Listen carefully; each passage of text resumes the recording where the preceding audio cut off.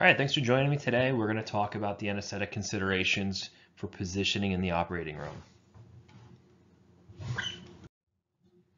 Nagelhout's the main textbook that we're using for this lecture. However, we've used other sources as well, some journal articles, and even some other books like Miller and probably Morgan Mikhail. I can't remember exactly.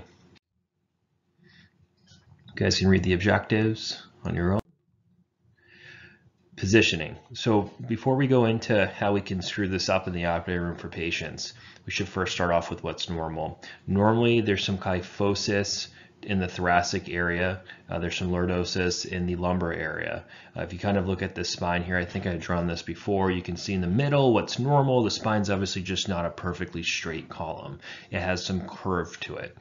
And so the curve is something you should take in consideration when you're padding people and you're positioning people, but it's also something you take in consideration when people have abnormal curvatures as they age, for instance, if they get more kyphotic in the thoracic area, or if they have accentuated lordosis in their lumbar area. And what can happen when we give these patients muscle relaxants and or we put them in, in very unusual positions that push them out of their normal alignment and stuff. What might be normal for the average person might not be normal for some patients. And in those cases, you have to take extra precautions in padding these patients and preparing them for surgery before they go to sleep. You ever had that tingling in your arm when you brushed up against something hard, woken up in the middle of the night and your arm's asleep? Perhaps you're sitting in an uncomfortable position right now and you keep repositioning. So your body, whether you're consciously doing or unconsciously doing, it's always trying to move itself to reposition itself because obviously if you're in one position for too long, you can develop pressure ulcers. You can also hurt your nerves. We luckily in the unconscious and unconscious state will often reposition, right? In the middle of your sleep, you don't stay perfectly still the entire night. You most likely make subtle but shifts in your body weight in order to stay comfortable. We do this without waking up, for instance sometimes we wake up because our arms are asleep. Sometimes we uh, are consciously made aware of the tingling numbness in our legs from sitting on an uncomfortable stool for too long. Either way, our body makes an effort to fix the problem. In anesthesia, we blunt these responses. So we not only make people unconscious and unaware that their leg is asleep because the way we position it in the stirrups was incorrect, but we now withdraw also the ability of the body to say, ouch, that hurts, and withdraw from that stimulus, withdraw from that pain, because we've given them either so much anesthetics or we've muscle uh, relaxed them, and they're no longer physically able to do anything in the unconscious state.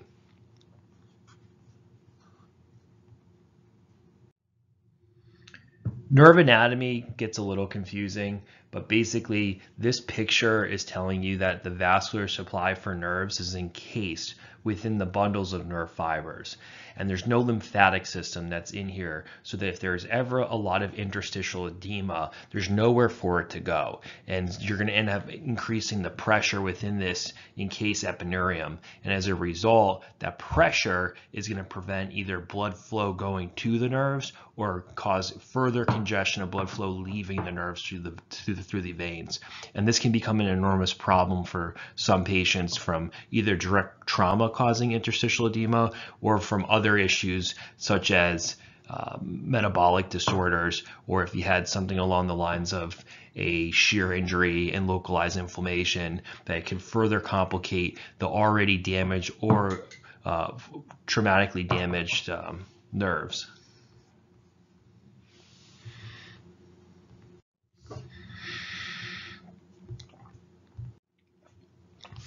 So there's five categories on how nerves get damaged. And if you look at it from the categorical standpoint, or maybe after we look back on cases and we say, okay, well, what happened to this patient? Why do they have an ulnar a neuropathy or a sciatic neuropathy, we can say like, well, what caused it? Like, what were some of the things we could have possibly avoided to avoid the nerve damage? So if we go back and we focus on these five things, preventatively, we can also hopefully reduce these outcomes in the surgical population by saying, let's minimize stress, compression, direct trauma, perfusion, metabolic derangement.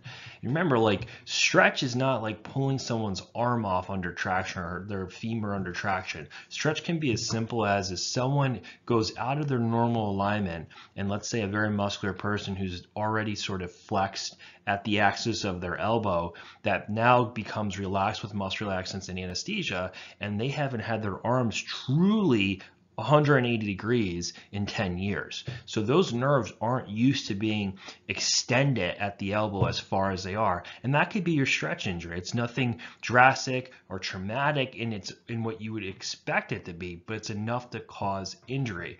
And that's that you only need 5% of the resting length to cause a stretch injury. Compression can be something as simple as an IV pole, which is up against someone's arm on the side of the operating room table. That's it. It's causing compression. Maybe it's the surgeon leaning on the arm for hours during a back surgery. That could be all that that's that's necessary to cause a nerve injury. Direct trauma is probably more obvious, right? You could think of blunt force trauma, penetrating trauma, so that's pretty simple. Perfusion. We think about perfusion all the time. We think about mean arterial pressures and maintaining adequate perfusion to the brain, to the, to the kidneys, and to the heart. But let's also remember too that in vascular path patients, we're more worried about perfusion everywhere. They've got perfusion issues. They've got flow issues. They've got flow limitations maybe in their vascular beds. And that not only affects, let's say, their carotids and let's say their coronaries, but it also affects the smaller arteries going to their nerves too, possibly. They're going to be more at risk for developing nerve injuries. Metabolic derangement is going to be probably the sicker patients, the ICU patients, the people that have acidotic states, or any other type of abnormalities from renal disease, renal failure, liver disease. So what do I do in the OR? Well, it's simple. Ask the patient what they're most comfortable with. If you've got a patient who kind of starts to hit upon some of the risk factors here, uh, you should ask them. Say, hey, look, we're going to get you comfortable in the in the bed. I wouldn't give Versed fentanyl right away because again, you're going to give Versed and fentanyl and then ask them, hey, what's most comfortable for you position wise? They're going to be like, I feel great. You know, I'm assuming they're not taking fentanyl every day. They're going to say, well, I feel good actually. Like, great. Uh, you know, I'm more comfortable I've ever been. So maybe you wait on giving that if you're able to, and you position them in the stretcher and say, look, this is the bed. And this is obviously if you're not turning prone, you're not going to pr prone someone and then intubate them. So again, you know, in a lot of cases, we can do this in the supine position, maybe not necessarily the lateral, but if it's a supine, even lithotomy position, there's no reason why you can't have their legs go up in the stirrups ahead of time and, and ask them, is this okay? Are you okay? Are you, oh, you're not comfortable. What can we do differently so that you are comfortable? Oh, you have problems with your leg going past 90 degrees of deflection at the hip and your uh, femur. Okay, well, tell us what we can get away with. What's reasonable for you? Oh, your shoulders always fall asleep if they're over, you know, abducted Oh, great. That's great to know. Oh, you've had shoulder problems. You had shoulder surgery. Well, what's your normal range of motion? All right, we're going to try stay within that range of motion. And then as you position them, a lot of times these people are going to tell you it's always about their necks and stuff, which is super important for anesthesia. You get them comfortable, you know, and then you get them padded. You, if someone's very kyphotic, you have to pad them even more on their back and then their heads and stuff. But you get them to that position of comfort and you say, Are you comfortable? We want to make sure you're comfortable you go to sleep. And if they say they are, you document it and then you go off to sleep and stuff. So it's important that you ask the patient. It's very specific to them. This is, they're going to be the ones that are going to know what's probably going to be okay and what's probably not going to work for the case if you do everything right, I think one of the things that you're going to see in the literature, you can still have nerve injuries. And I want to just kind of get that out there so we can kind of get that uh, clarified that you can do everything right and still have a nerve injury. So there are going to be factors that contribute to nerve injuries. So who's at risk and based on who's at risk as you just with the nausea scales, if you have a lot of risk factors, you should probably go above and beyond to actually address these concerns. You should always obviously do the best you can for positioning and stuff, but you should go above and beyond for these patients and stuff. So, you know, not only does it include padding, but, you know, again, making sure you have adequate perfusion. Going back to those, you know, five general categories and stuff, really make sure you have adequate perfusion during the whole, the whole case. Really make sure you know what the patient's tolerances are for where their legs, their arms, their head is, and their overall, like what's their neutral, what's their neutral position. And then, you know, talking to the surgeons about minimizing how long these cases go, because again, risk factors from the patient on one side, but on the other side are sort of risk factors that we have some control over. And so balancing the two sides to minimize them crossing over and contributing in a synergistic way to risk factors is going to go a long, a long ways. So surgery length greater than four hours is the typical entry point into like being at increased risk for nerve injuries. And then as far as body habitus goes, body habitus is a pretty big one. So being obese and then being in a BMI of less than 22 if you want to look for numbers. And then uh, patients that are muscular, although that's not an extreme, muscular patients are going to be at a higher risk as well because again, if they're in a more of a flex position, they're going to have higher risk of stretch injury when you relax them with muscle relaxants or even volatile anesthetics. Test questions are always going to ask you what's the great, which nerve is the greatest risk at injury. So ulnar would be the first one, then brachial plexus. And if you keep that in the back of your head, just always be looking at those body parts and stuff when you're positioning, knowing that that's where you're you're most likely going to injure someone if you don't properly position them. And there's there's you know there's two probably moving parts here. You've got the patient on the bed, and then you've got their arms on the arm boards, which can either set too low or too high, you know, as far as in position to where their actual, let's say where their uh, humerus head fits into the shoulder, or you have the patient's arms too abducted um, up towards their heads like Superman uh, as well. And then the arms themselves can be overflexed or overextended, right? You know, bicep curls and tricep extensions. So there's so many different moving parts in there. Typically, in most cases, unless you're talking lithotomy position, the legs are just straight on the bed, right? In line with the whole spine stuff, mostly straight on the bed. You obviously do risk people's like lordosis getting a little bit more flat and because of the relaxation, muscle relaxants and so on. You know, there's ways you can get around some of that, give a little relief under the legs with a pillow, but not underneath the knee joints. Keep the heels off the bed.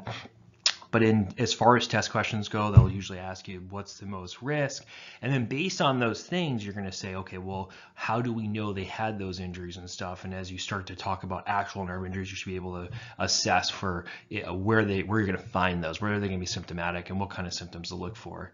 SSEP monitoring is a really good early warning system that can say like, hey, the right arm is having some conduction abnormalities, so you need to reposition it. Or in the case of neurosurgery, it's surgeon, hey, whatever you're doing, I'm losing signals uh, this leg, for instance. Usually they do a lot of lumbar surgery, but you could have upper surgery as well. But hey, let's let's pretend it's all like lower legs.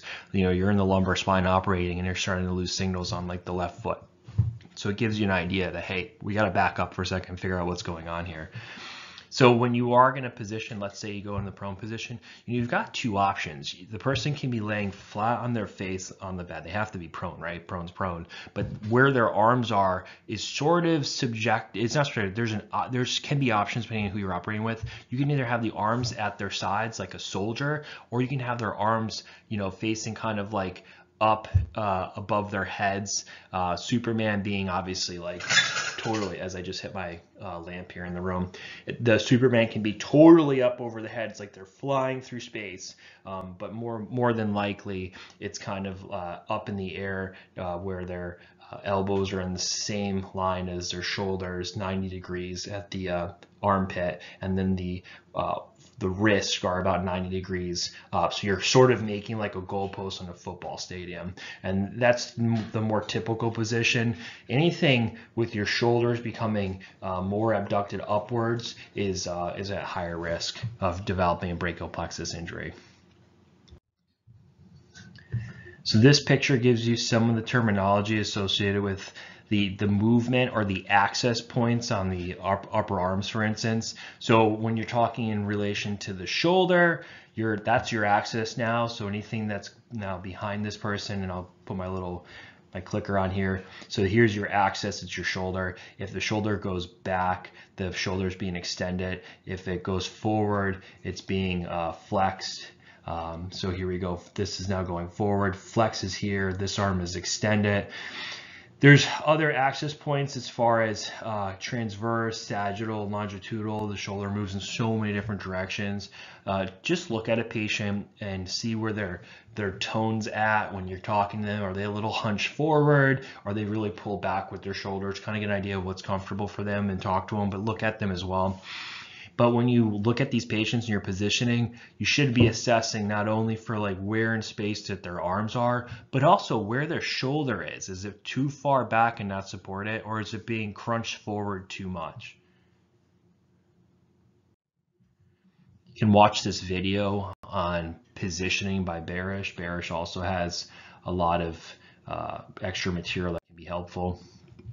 So when we do talk about these nerves, and you're trying to isolate what nerve may have been injured during a case, you might have to go into a post-op assessment on these patients. They could either be in the PACU presenting with some type of neuropathy immediately or myalgia, or this could be 24 30 hours you know later and they're presenting with these you know vague symptoms and stuff. And it could be a multitude of causes but the first thing you need to establish is what exactly is bothering them. So you're going to look at it from two perspectives. And in this slide here we're looking at it from a sensory perspective. So what's their sensory deficits? So basically where on their arm or hand in the case of the upper extremities are they having problems? And then the next step is to test muscles. So you got to then understand the, the muscle anatomy and what nerves innervate what muscles, have an idea of where they might have a decrease in muscle strength or tone. Um, but in this case, these are the, the dermatomes for sensory and stuff. And so it gives you an idea that, you know, for instance, if your pinky is numb, that's your ulnar nerve. And that's how I would assess this. So we'll kind of go through this quickly here. You can read these slides. These kind of associate some of the general muscle and uh, sensory associations with each of the nerves in the upper arm that come. These are all the terminations of the brachial plexus. And so you can kind of have an idea of oh, if you've had a cheat sheet for this when you're going to assess a patient to know what might have been injured uh, during the case.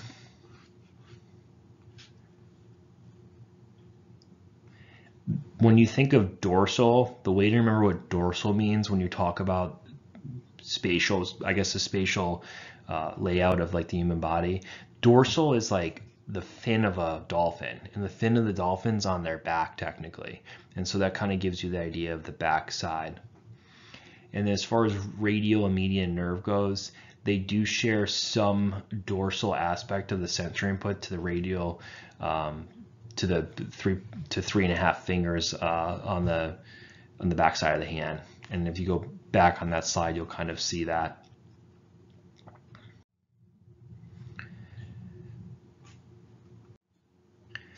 So more specifically here, we'll talk about brachial plexo, plexopathies and ulnar neuropathies.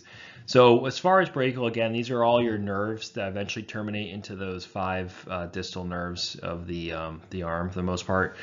There's some others that are more proximal, but the brachial plexus uh, plexopathies are common. They're the second most common after ulnar. Uh, the patient could be doing anything from a sternotomy where the sternum's being retracted and it's pushing the rib cage underneath the clavicle to, you know, these brachial, uh, the brachial um, plexus runs from the neck, travels uh, kind of underneath your shoulder sort of area, underneath your clavicle, and then goes underneath into your axilla and then out through your arm. So anything along the way, whether it's the humeral head being pushed or turned or overextended in and out of that space can cause it, the rib cage being pulled and pushed underneath the clavicle and causing pressure in the soft tissue there where the plexus is from you know the sternal retractions. A lot of different things can cause this. Uh, if you if you turn your head right now, let's say like right now, demonstrate on yourself what's most comfortable. If you turn your head to the left and then you try and if you turn your head to the left and then you try and raise your left arm, so left head turn, left arm, is that comfortable? And you're going to say, no, it's not. You've got a lot of tension right now on the right side of your neck because you're turning left, you raise your left arm. It's really uncomfortable. But if you kept your head left and you lowered your arm, your left arm, you're a little bit more comfortable. And now let's be even more comfortable. Keep your head turning far to the left and raise your right arm. Is that a little bit more comfortable? And the answer should be typically yes. Like you're able to turn your head to the left and lift your right arm up, and that relieves some tension on the brachial plexus, leaving your neck and going to your right arm. You're sort of bringing the plexus towards your neck, which is going away from your arm, where it kind of terminates. So there can be issues even when you position the neck. So the easiest thing is usually just keep everyone's neck midline and don't raise your arms up or your let's say your humerus up over 90 degrees from your shoulder joint. And that will hopefully help prevent brachial plexus injuries, but it's not always the case. I mean, you have neck surgeries and dissections where you have to turn the person's neck all the way over so the surgeon has a really good view and access to whatever they're dissecting. In those cases, you know, if you can, you want to maybe get that right arm up if they're looking far to the left. But again, that might not be the case because the patient, you know, that arm's in the way of the surgeon and stuff. But there's just ways to think about it. Shoulder braces can also cause it. So if you had a shoulder brace, and that was all that was holding that patient on the bed. And then you tip that bed so the head of the bed is all the way down in a steep Trendelenburg. And those shoulder braces are holding the patient from falling out of the bed.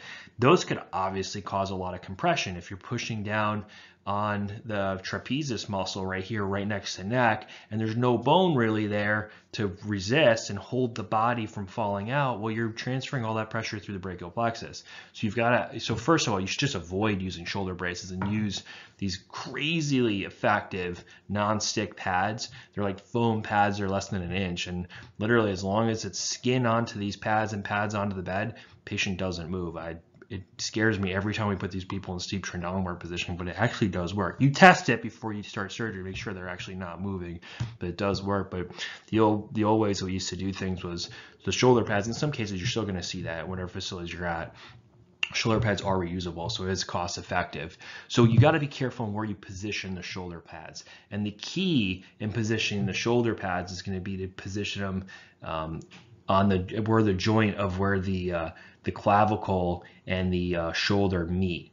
Uh, that's the that's the key.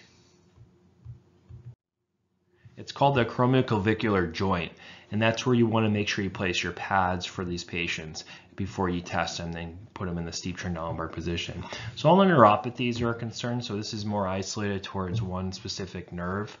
Uh, concern, right? I mean, think about where the ulnar nerve travels. It transverses along the uh, medial aspect of the elbow, uh, elbow, so the postcondylar groove for the elbow.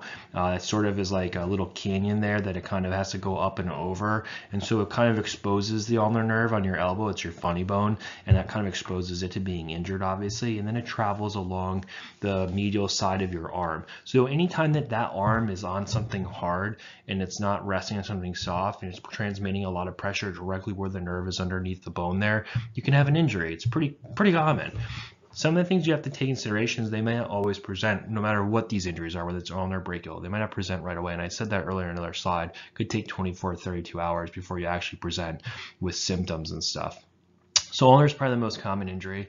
And just something for you to know too, if it's just sensory involvement with a lot of these nerve injuries, they have a they have a much higher likelihood of recovering than if it's also involving their the motor side of their nerves. So here's a good picture of where that ulnar nerve is running, and it's showing the medial epicondyle process here, but it's showing you basically the general area where the, the ulnar nerve is running and where to avoid putting excessive amounts of pressure on.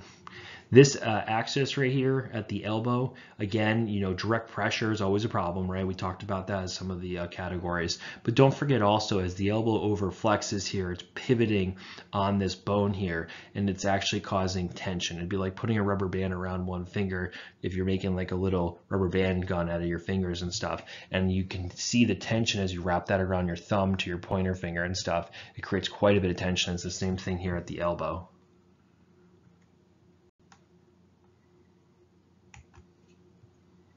So let's talk about median neuropathies and radio. Just remember, where on the arm you have an injury, from that point forward, or that point distal is where you're going to see the presentation of symptoms, whether they're muscular or they're just sensory and stuff.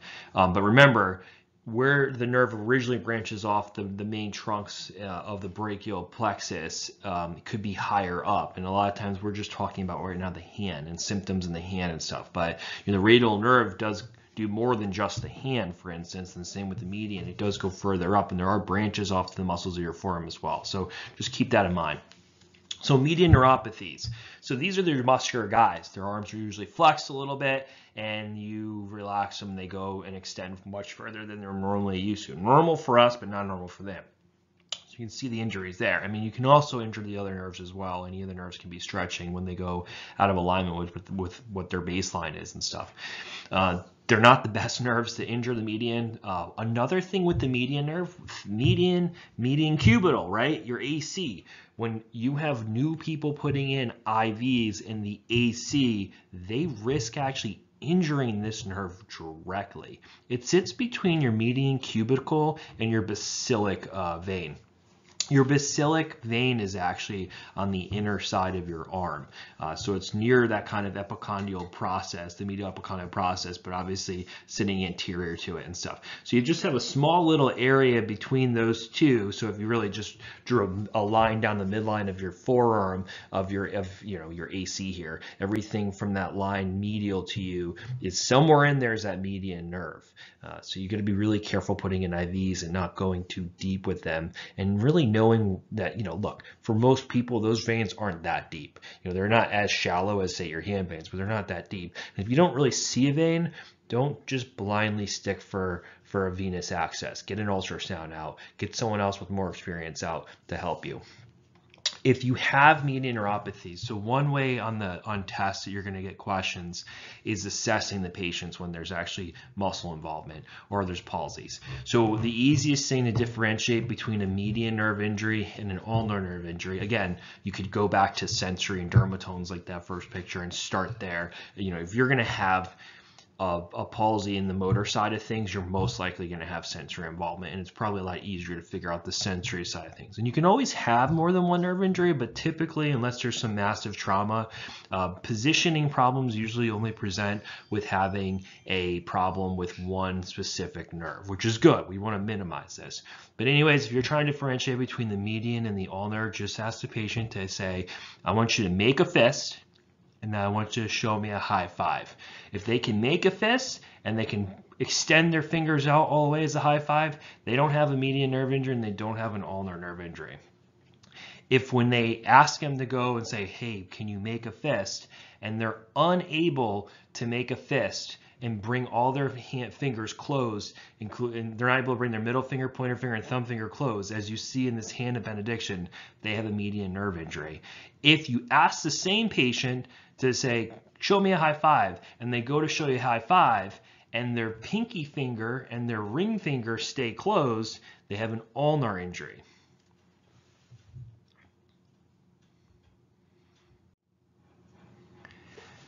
When it comes to radial neuropathies, these are these can be typically associated with blood pressure cuffs being too tight, uh, IV pulls up against the humeral side of your arm, uh, these also are associated with some other funny names. Uh, they can be known as crutch palsies. If uh, you have a crutch too tight in your axilla area, you can actually injure the radial nerve.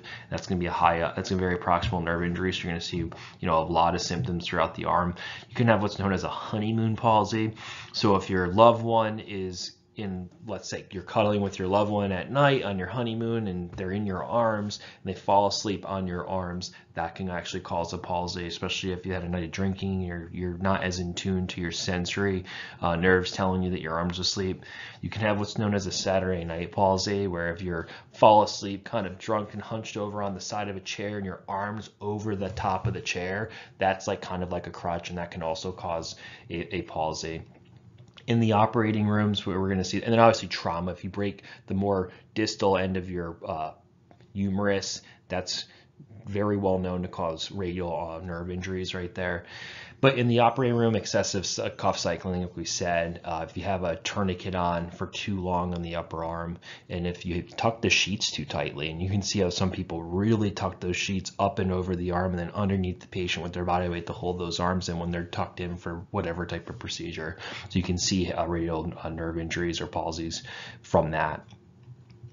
In order to assess it physically, um, we go back to that with the radial. The assess it physically is basically they get a wrist drop. That's the palsy is a wrist drop. So you have them put both their arms out and you just assess for where their tone is. And you're going to notice one of the hands that's actually injured is in more of a uh, drop or droopy kind of position than the other. And they're not going to be able to bring it back up to neutral.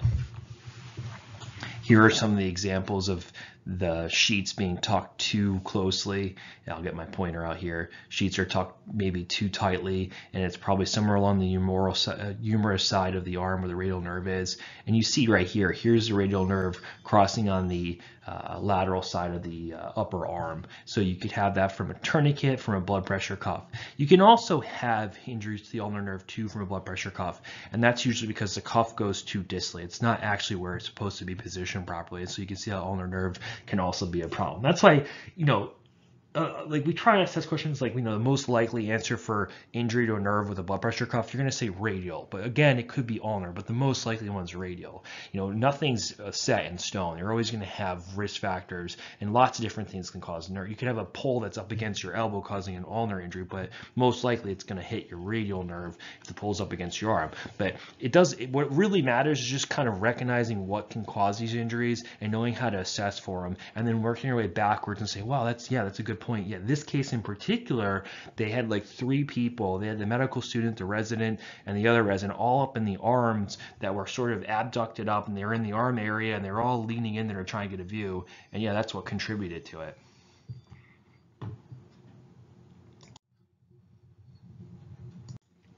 So in this picture, the one of the things that we see here as well is that the median nerve is not only sitting in between the basilic vein and the median cubital vein, but it's also sitting right on top of the uh, artery, the brachial artery.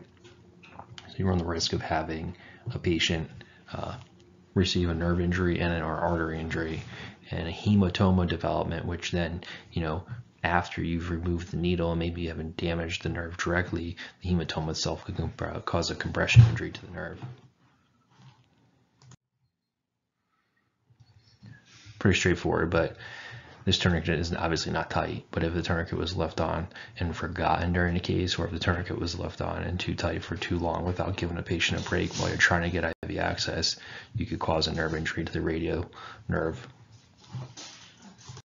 So the most common injuries intraoperatively in the lower extremities either going to be an obturator neuropathy or a lateral cutaneous. You can obviously have other nerve injuries in addition to this. We do cover a couple in this lecture and stuff, but these are two, two of the most common. So the obturator nerve is, is what actually allows your hip to adduct. So adduction would be bringing your two legs closer together, squeezing your thighs together. However, when you excessively abduct and raise the leg away from being near the other leg or, uh, you know, flexing it outwards like you're doing, uh, let's say the butt or the breaststroke and stuff. Uh, if you excessively abduct it, you can cause an injury. So uh, you can see that this could be uh, possible in a lot of the positioning that we do when you're in the um, the OB department with the legs being up in stirrups and out slightly to, develop, to give room for the surgeon to get in the middle of like let's say a female's legs or even in urology, you know, whether it's male or female. Retraction during abdominal surgeries can actually cause pressure on these nerves because you got to remember if you look on this chart here with the highlighter here that you know these nerves are, are branches off of the lumbar plexus here. And so you could have excessive retraction that causes direct pressure onto that area just like if you had excessive pressure on the brachial plexus coming from your neck on the soft tissue from the neck before it transverses under the clavicle you could have injuries anywhere near there. It could be shoulder braces on the trapezius muscle pushing down at the brachial plexus. So again you could have that from retraction of abdominal surgeries or from forceps being used during vaginal deliveries down here, you know, you could potentially be causing direct injury from the forceps here. So just remember, it's not always going to be with your legs being put out of alignment. It could be direct compression injuries as well. Lateral femoral cutaneous, it only has sensory innervation. There's no muscle innervation. But if you do damage this, this one can be a very, very debilitating, painful injury uh, from whatever the reason is. Uh, so again, this is on the lateral side of your thigh. So this is on the opposite side of where the obturator nerve is. And the reason that this can be injured is prolonged flexion. So hip flexion being at the hip is you bring your knees, if you're laying flat on the ground, you bring your knees up 90 degrees where your thighs 90 degrees to your torso and stuff. If you go past the 90 degrees and like crunch your legs all the way towards your chest, that could cause a femoral cutaneous neuropathy. All right, peroneal neuropathy is another big problem with positioning the OR peroneal nerve, the peroneal nerve comes out around, probably around the top of the head of the fibula, as you can see right here. This is your fibula. Let me get my marker out. So this, this is your fibular head right here. Uh, it's very commonly injured when the fibular head is fractured. So if you ever see that, you might have a nerve injury. It's so high up, you're going to involve both the, the two branches, which is the uh, deep branch, the superficial branch of the um, peroneal nerve. And you're going to see one of the most common things you're going to see is uh, foot drop. But anyways, the branches also cover other things too than just foot, foot drop too. So you can't invert your foot, you can't extend your toes, you have difficulty walking, obviously. Uh, so that's something to think about. But one of the things you have to also think about is we have a circle right here in green is that these candy cane things can actually get right near the head of the fibula and cause pressure directly on the fibula and cause nerve injury. Uh, so that's something to think about too. So I mentioned the common peroneal goes into two branches. It's the deep and the superficial. So let's look at the next slide to see what the superficial and deep look like. Okay, so you have the superficial. So at right below the, the head of the fibula is where you have that branch. One branch goes deep into the leg, and that's the deep part, and that actually has some muscle innervation. It has a very limited amount of sensory, which is right here between, and I don't know why this picture doesn't show it, but you're going to have a little bit of sensory between the toes right here. So you have a little bit of sensory kind of like right there from the from the deep um, peroneal. So the other branch is the superficial, and the superficial here covers other aspects of the foot, which we'll see later on and stuff. And so superficial branches, there's two like main roots that branch at the ankle and stuff and cover just uh, sensory dermatomes only. Uh, the deep one is what covers the muscular and motor, but also has a little bit of sensory between the big toe and the little toe. Very low. Oh, actually, here's your cutaneous distribution right here. Uh, so actually I missed it. So there it is actually on the other side because the other side shows the deep. It shows the deep transversing through the deep part of the leg, sort of between like the fibula, tibia, I guess, over the tibia, whatever you want to call it. And that goes, those branches are going into the muscles, obviously. And there's a little cutaneous distribution there. So superficial peroneal is sensory only, and then deep peroneal is sensory and motor. Thoracic outlet obstruction can occur during any of the cases. Again, this is in concern to the pocket between the clavicle and the first rib where you have a subclavian vein or subclavian vein, uh, innominate artery, and the brachial plexus is all transversing. So a small little area can be compressed um, from positioning. Can also be compressed from abnormal anatomy on patients, which you probably wouldn't know. But for the patients in the operating rooms, these things can occur from overadduction, abduction of the shoulder, um, the neck being put too far forward. We're putting direct pressure on the clavicle because you didn't position a shoulder pad in the proper place. Uh, when you have injury or you have thoracic outlet obstruction, there's three categories of it, and basically it all comes down to is which part of these vessels or these different uh, structures going through that space is being compressed. So you can have uh, symptoms related to the brachial plexus being compressed, the artery, the vein. Predominantly, more than 96% or so of cases are going to involve the brachial plexus. In general, this is not in the OR, but in general, if you're a primary care physician. Uh, then after that, the next most common would be about, I think, about 4% of uh, the veins are affected and causing these um, thoracic outlet obstructions. And the last one, which is the least likely, is about 1% is artery. And the, hopefully those numbers equal out to be about 100%. But basically, your number one culprit for the symptoms related to thoracic outlet obstruction are going to be related to the brachial plexus. In the OR, you're going to be able to assess for these things if they're anesthetized. You won't know exactly which part of the, uh, which one of these three are actually contributing to symptoms. But your concerns are nevertheless going to be the same, which is you're going to have patients that could uh, be at risk for having clots or uh, ischemia to the nerves directly or clots and ischemia to the distal arms from lack of blood flow or congestion from venous outflow obstructions. I actually had a patient like this once in the OR where we had proned a patient who was very skinny and young. So skinny being a risk factor and then being prone again in this situation seems to be where it occurs the most. Uh, can occur obviously in the lateral position as well from uh, the patient being on their shoulder and not having axillary support and the shoulder being pushed into the clavicle being pushed into this small outlet area. But this patient was skinny, uh, very skinny, uh, going prone for a back surgery, and I put in a 16 gauge because it's gonna be a long procedure and want to have a nice large line for blood resuscitation. And the IV went in under ultrasound uh, in the uh, I think probably in the AC area, uh, so wasn't really running great after I put it in, and I was uh, probably most likely concerned that you know was it in i checked on ultrasound did a bubble test it was definitely in uh, agitation test and then you know, I said, well, maybe it's because of the arm positioning and stuff. So I was checking around the AC because, you know, it's not the best place to put in IVs if they're going to be with their arms, you know, abducted forward. And, you know, honestly, nothing really changed when you pull a little pressure on the IV to try and get it to run. Nothing really changed. It was running, but it was slow. You know, so you you try to do everything you can, and the, the girl's arms were positioned perfectly. She wasn't over abducted, not past 90 degrees. Her arms looked comfortable about five minutes into the case, we ended up finding out from the, the neuromonitoring team that they were losing signals on that exact arm. And so, you know, put two and two together, what ended up happening was, is that her actual shoulder, uh, the actual shoulder itself was uh, resting too far anterior and out of alignment um, compared to where it should be a little bit further back and more neutral. And that shoulder being kind of rolling forward, hunching forward, and didn't appear that way, but for her it was enough, was causing enough compression in that um, outlet area over her ribs and clavicle to cause an actual occlusion to her venous supply and, and, and probably uh, as well to the brachial plexus, which they were monitoring. But I got to see, you know, she had a pulse ox on, which was totally fine, but I got to see the venous compression and the neuromonitoring got to see the brachial plexus um, neuropathy as her, you know, injury and compression as a result. And so we both got to say, wow, that's pretty amazing. And as soon as we put a roll underneath the shoulder and lifted up that shoulder, the, the 16 gauge flowed like a trauma line.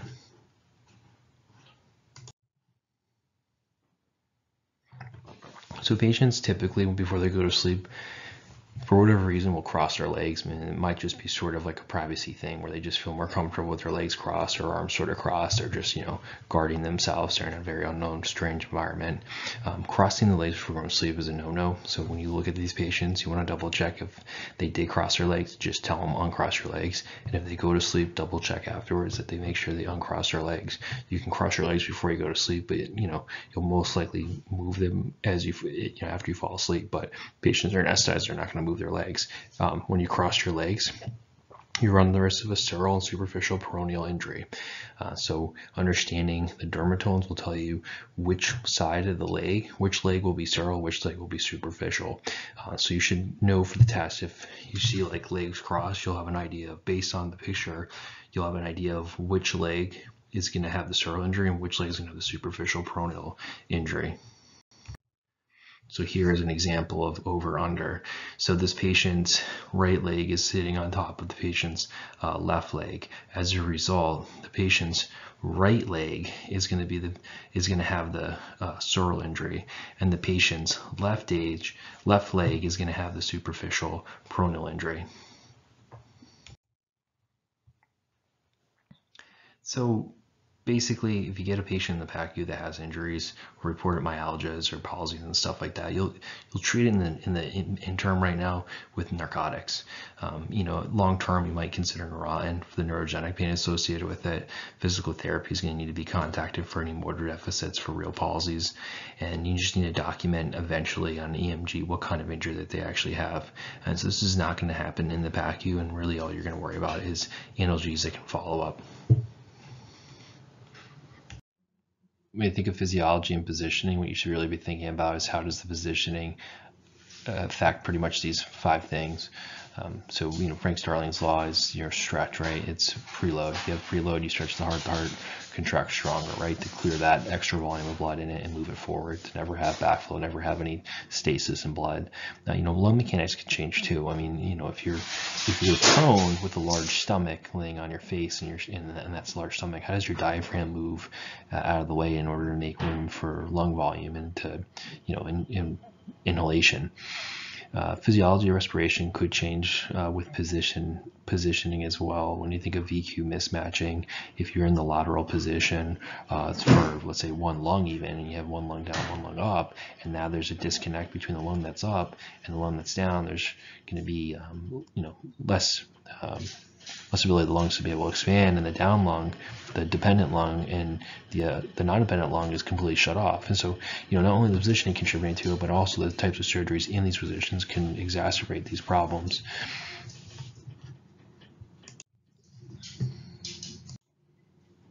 So hydrostatic pressure is one thing that just came to mind is, you know, your patient is in this steep Trendelenburg position, and now you're going to start to develop a lot of facial and uh, vocal cord edema if you're there for hours at a time because your head and your neck is below the heart in a steep Trendelenburg position. So there's hydrostatic pressures as being a problem now. We give people muscle relaxants. Muscle relaxants help facilitate surgeries, keep patients from moving, facilitate intubation, give you the best operating and maybe anesthetic conditions possible when you're starting a case or even during a case. But there's residual effects to this and stuff, which is you can have an abnormal shape to your diaphragm afterwards. Um, so, you know, these things can all kind of get in the way of adequate ventilation possibly, or just in general, um, you know, developing a little bit of atelectasis because of the muscle relaxation and the abnormal shape of the diaphragm.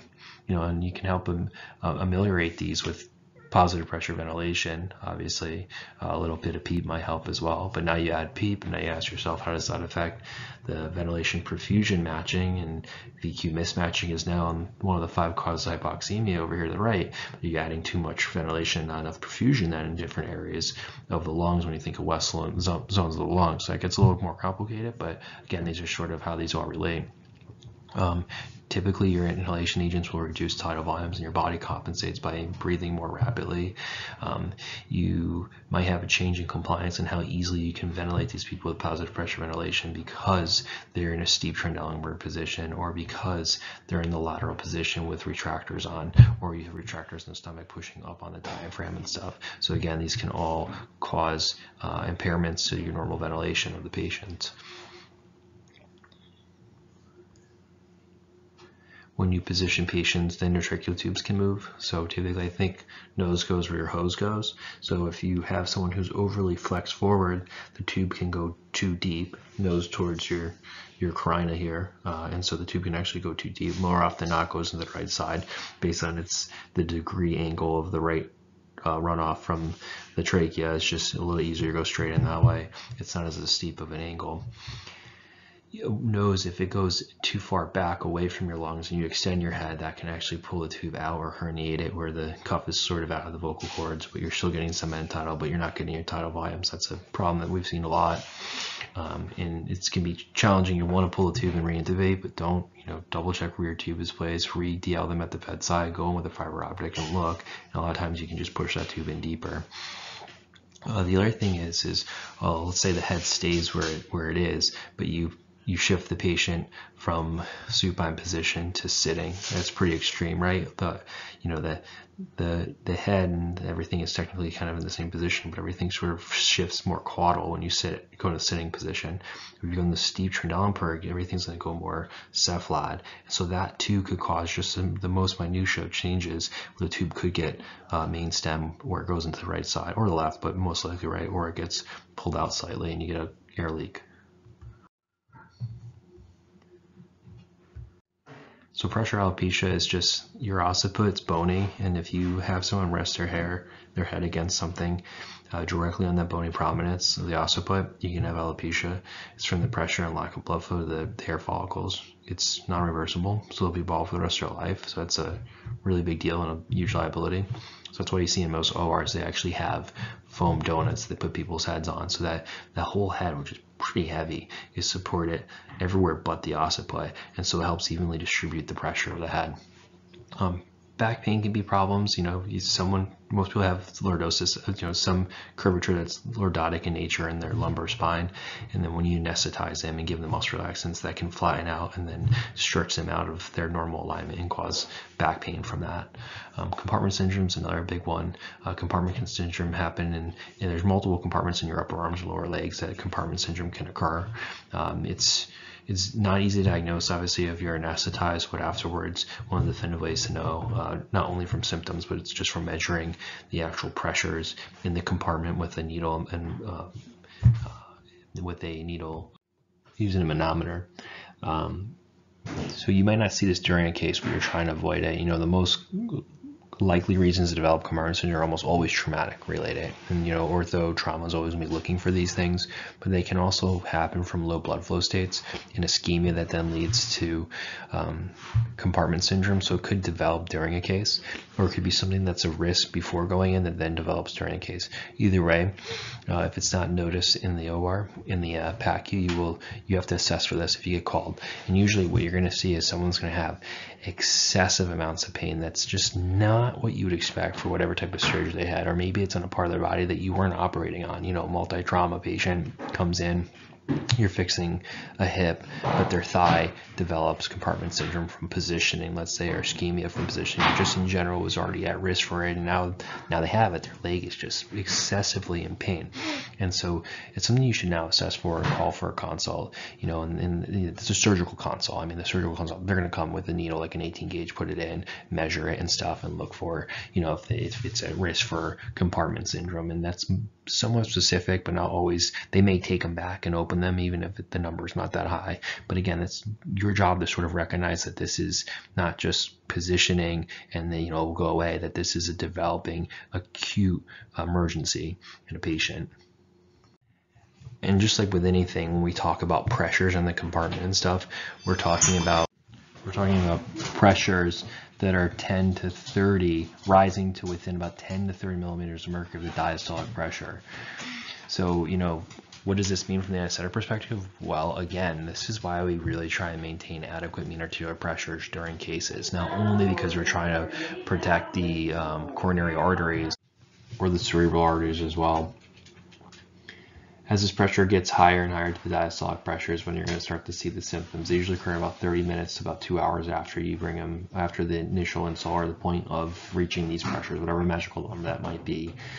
Um, the final pathway, no matter what you know happens in trauma or you know low blood flow states and stuff is that there's basically anoxia at the tissue level which causes the ischemia and this any type of blood flow compromise is really what's you know what leads to this and stuff. So, you know, we talked about that to diastolic, but you can also say that, you know, basically the capillary blood flow in general, no matter where it is, is compromised when your tissue pressures. So interstitial edema comes within about 25 to 30 millimeters of the map and stuff. So it's the same thing when you think in the epineurium of like the, the best of the, you know, nerve supplies where the blood supply is and so on. That's again now same thing. I mean, 25 to 30 and stuff. And just to clarify, like doing sending off labs really won't be that specific to this. So you might have allocated CKs, maybe you don't and stuff. But you know, really what it's going to come down to is risk for it, um, feeling the area, the pain, the symptoms that might be hard, and then you know the surgical consult might come and that resident might put a needle and measure the, the uh, pressures. And even yet, when they have a, they talk to the surgeon and stuff, they may just say, you know what, let's just go back. Maybe the pressure's not where we think it. Maybe the pressure's not reflecting how serious it is, and we're going to go go back and do a fasciotomy.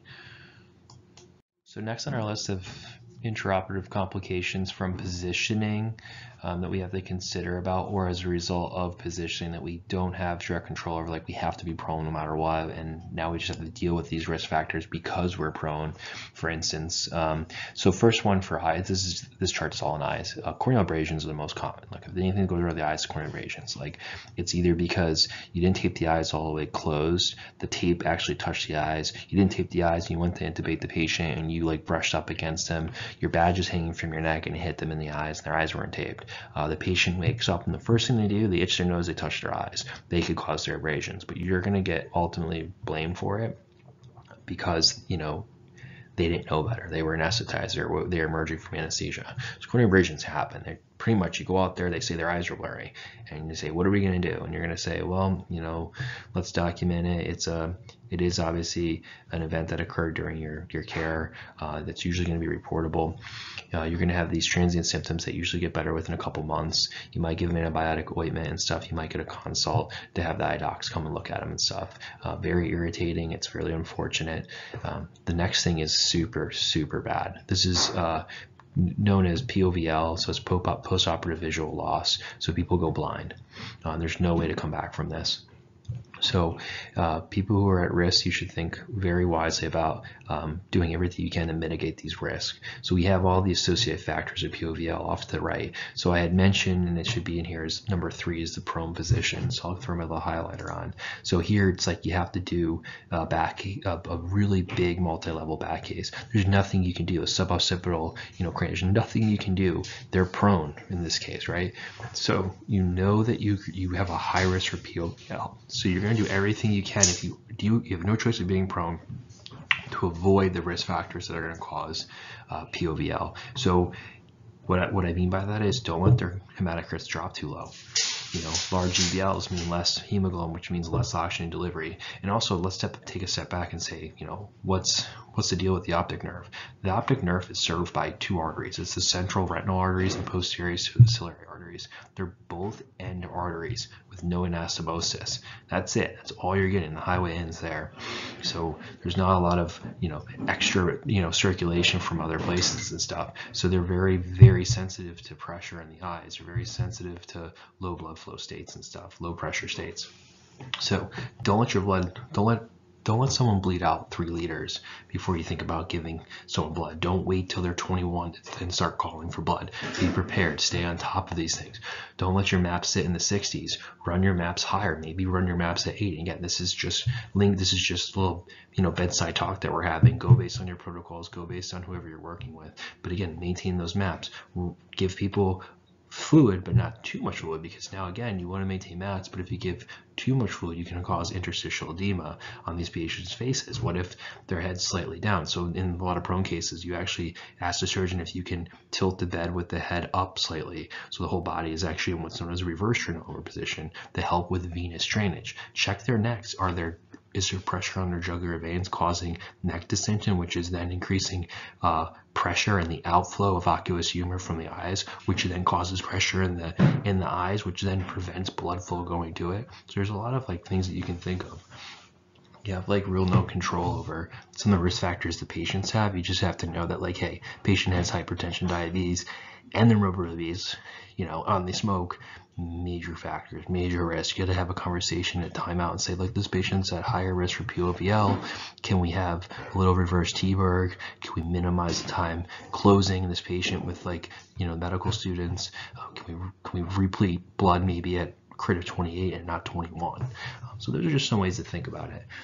Your intraocular pressure is usually 10 to 20 and the way to calculate that is basically it's your map minus your intraocular pressure. As your intraocular pressure grows because of interstitial edema too much fluid you know just the duration of the case is really long you know it says greater than five hours you can assume that that number starts to go up. If you start to notice like a lot of scleral edema and or chemosis being developed you can assume that those numbers have gone up quite significantly so what is chemosis? Chemosis is the bulging sclera. Uh, so you can see here this bulging is very noticeable. What you do from here sort of depends on your facility rules and stuff. But at a certain point, you know, especially when we were first doing robotic for radical prostatectomies, they'd be down for eight hours, had a bed down. So we start to develop protocols that within like three and a half, four hours, you, you stop the robotic surgery and you sit the patients up. There's really nothing else you can do. You can try and mitigate the risk with maintaining higher maps, being careful, being somewhere euvolemic probably with your fluid administration. There's not a lot of blood loss in those procedures for the radical prostatectomies, but again, all these things, and at a certain point, you just got to sit them up. Uh, there, there are some people out there who will pre-treat or treat after they see chemosis with two different eye drops. So you can give Timol, and you can also give uh, carbonic anhydrase, which is known as Diamox, which can also help with the intraocular pressures. Okay, venous embolisms are rare, but are mostly rare, except in some cases with sitting craniotomies. But again, we don't know. We don't necessarily looking all the time. We don't always have a transesophageal um, probe in or have precordial Doppler going.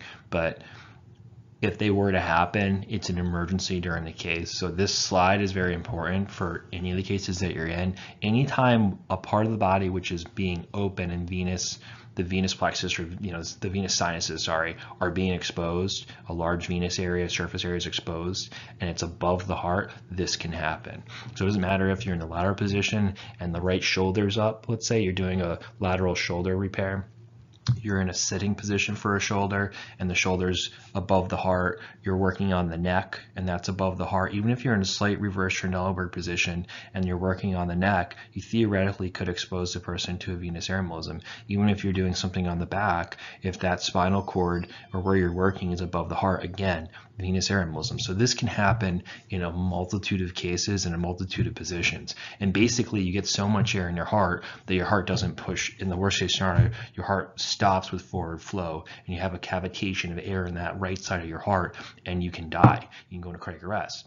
Or you have a paradoxical embolism because about 25 to 30% of people actually have patent uh, foramen ovalis and then the air, even if it's not a lot of air, and you don't see any changes on your hemodynamic monitoring, the air actually goes from the right atrium into the left atrium, and then guess where? It goes right up your carotid arteries to your brain, and you have embolisms in your brain, and you have a, a lack of blood flow and oxygenation to parts of your brain causing ischemia, and now you have a stroke patient afterwards. You'll have no idea until you can't wake them up. So these are just Oh, it's just a scary risk. And I think the patent foramen ovalis is a really crazy thing to know that you could have 25% of people with it.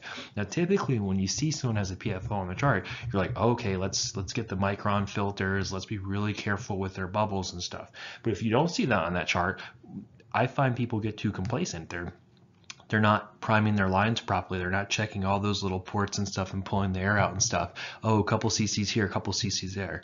I mean, how many cc's of air does it take to cause localized ischemia at the cellular level in the brain on someone who now we know might actually have a PFO? It's not on their chart. They've never had an echo we have no clue. We assume one out of four have it.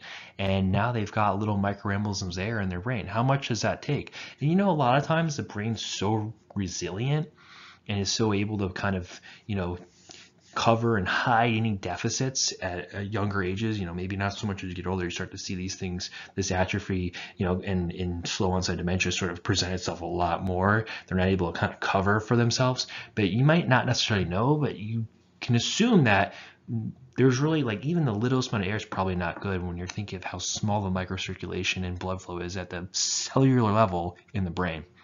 So what I'm trying to say is should be really careful, really, really careful with not having air in any of your lines, regardless if you know they have a PFO or not.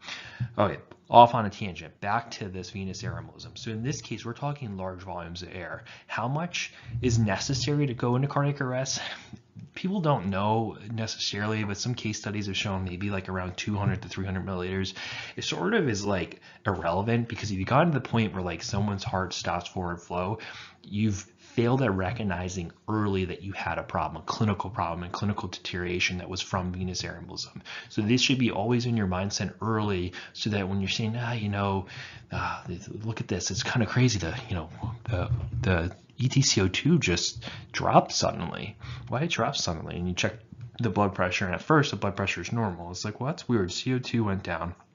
The blood pressure didn't go down. A lot of times CO2 is a surrogate, right? A lot of blood flow, a lot of oxygen use results in the byproduct of CO2. So CO2 is going to go up, and if the, the blood pressure goes down, then the CO2 sort of as a surrogate goes goes down too. But if it doesn't in the in the initial beginning, you just see a drop in CO2, that's you can't put a you can't pinpoint at all and you didn't change the ventilation you didn't change your minute ventilation at all on the ventilator this is when you should the hair on the back of your neck should go up and you should start thinking well okay could this be a venous air embolism? You start to think, what are the risk factors? Wow, we're we're doing a, a cranny, or we're doing something in the sitting position, right? The sitting position being the highest risk.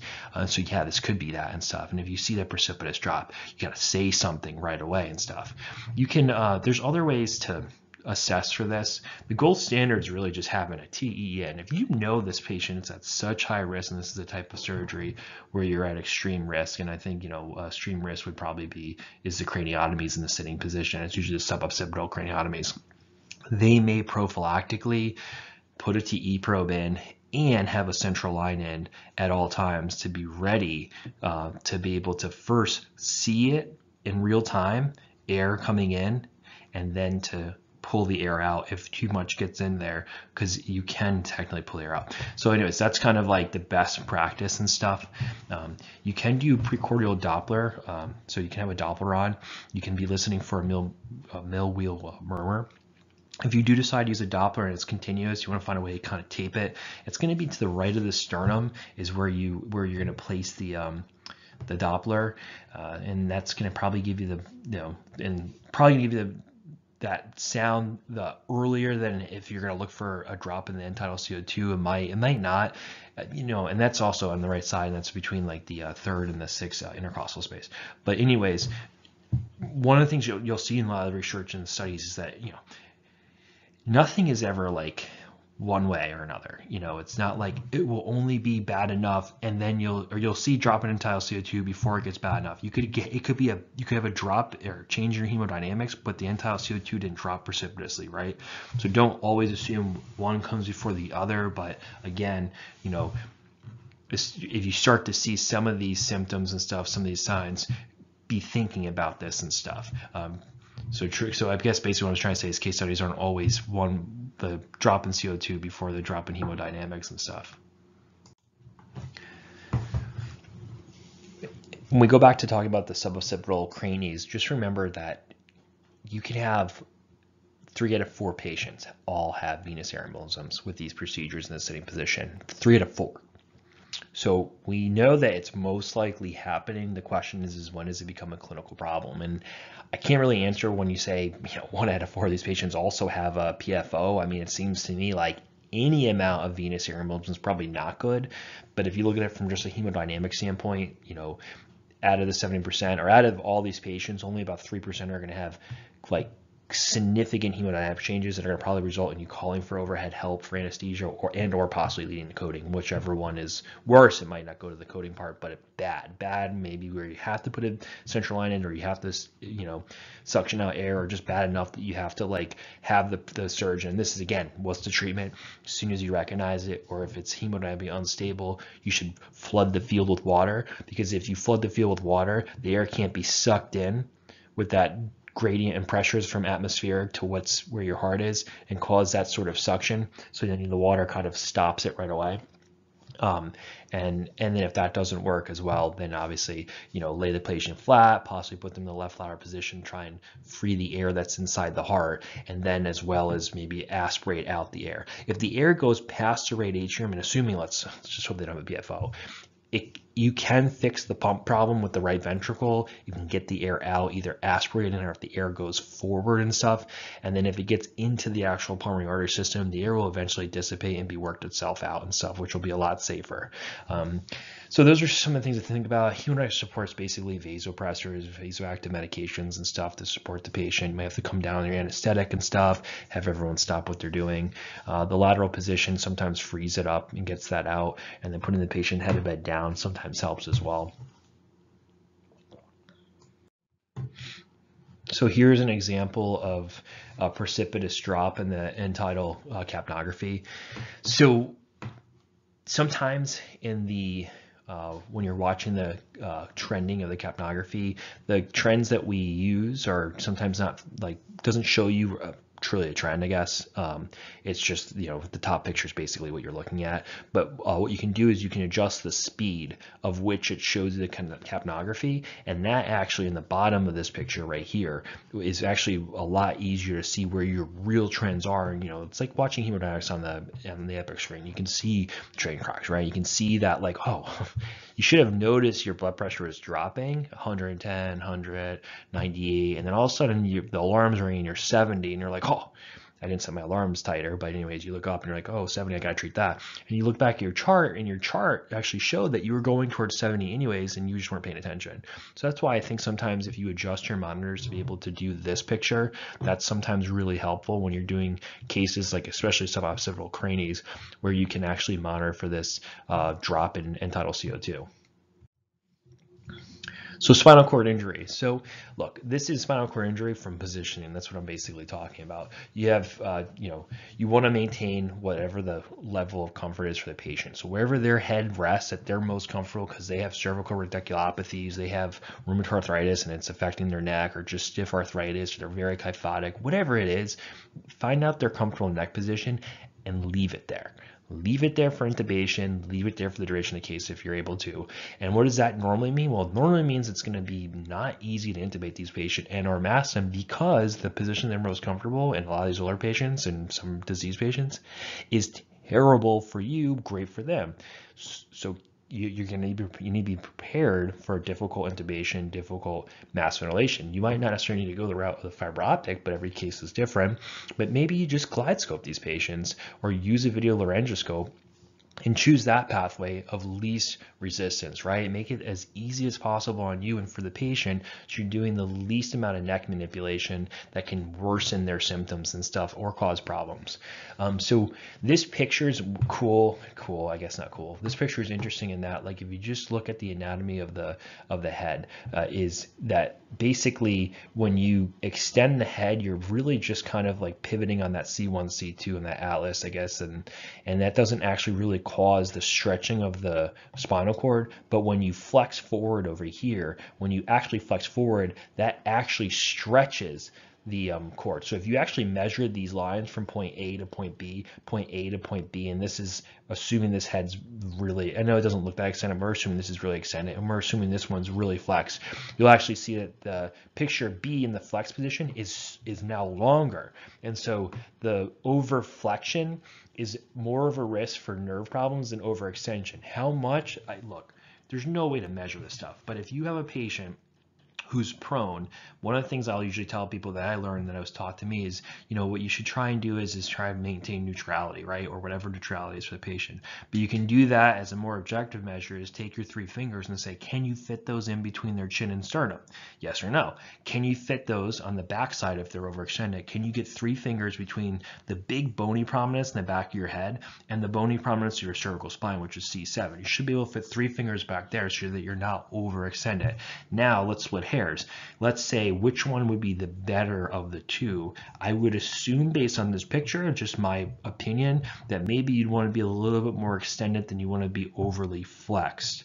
And that's sort of my thought on it. Because also when you're over flexed too, what's going on with compression on your jugulars? Or even if you're over flexed, what about compression pushing down towards your thoracic outlet as well? So I think on the err side of caution, a slight degree towards extension versus a slight degree of flexion might be might be better.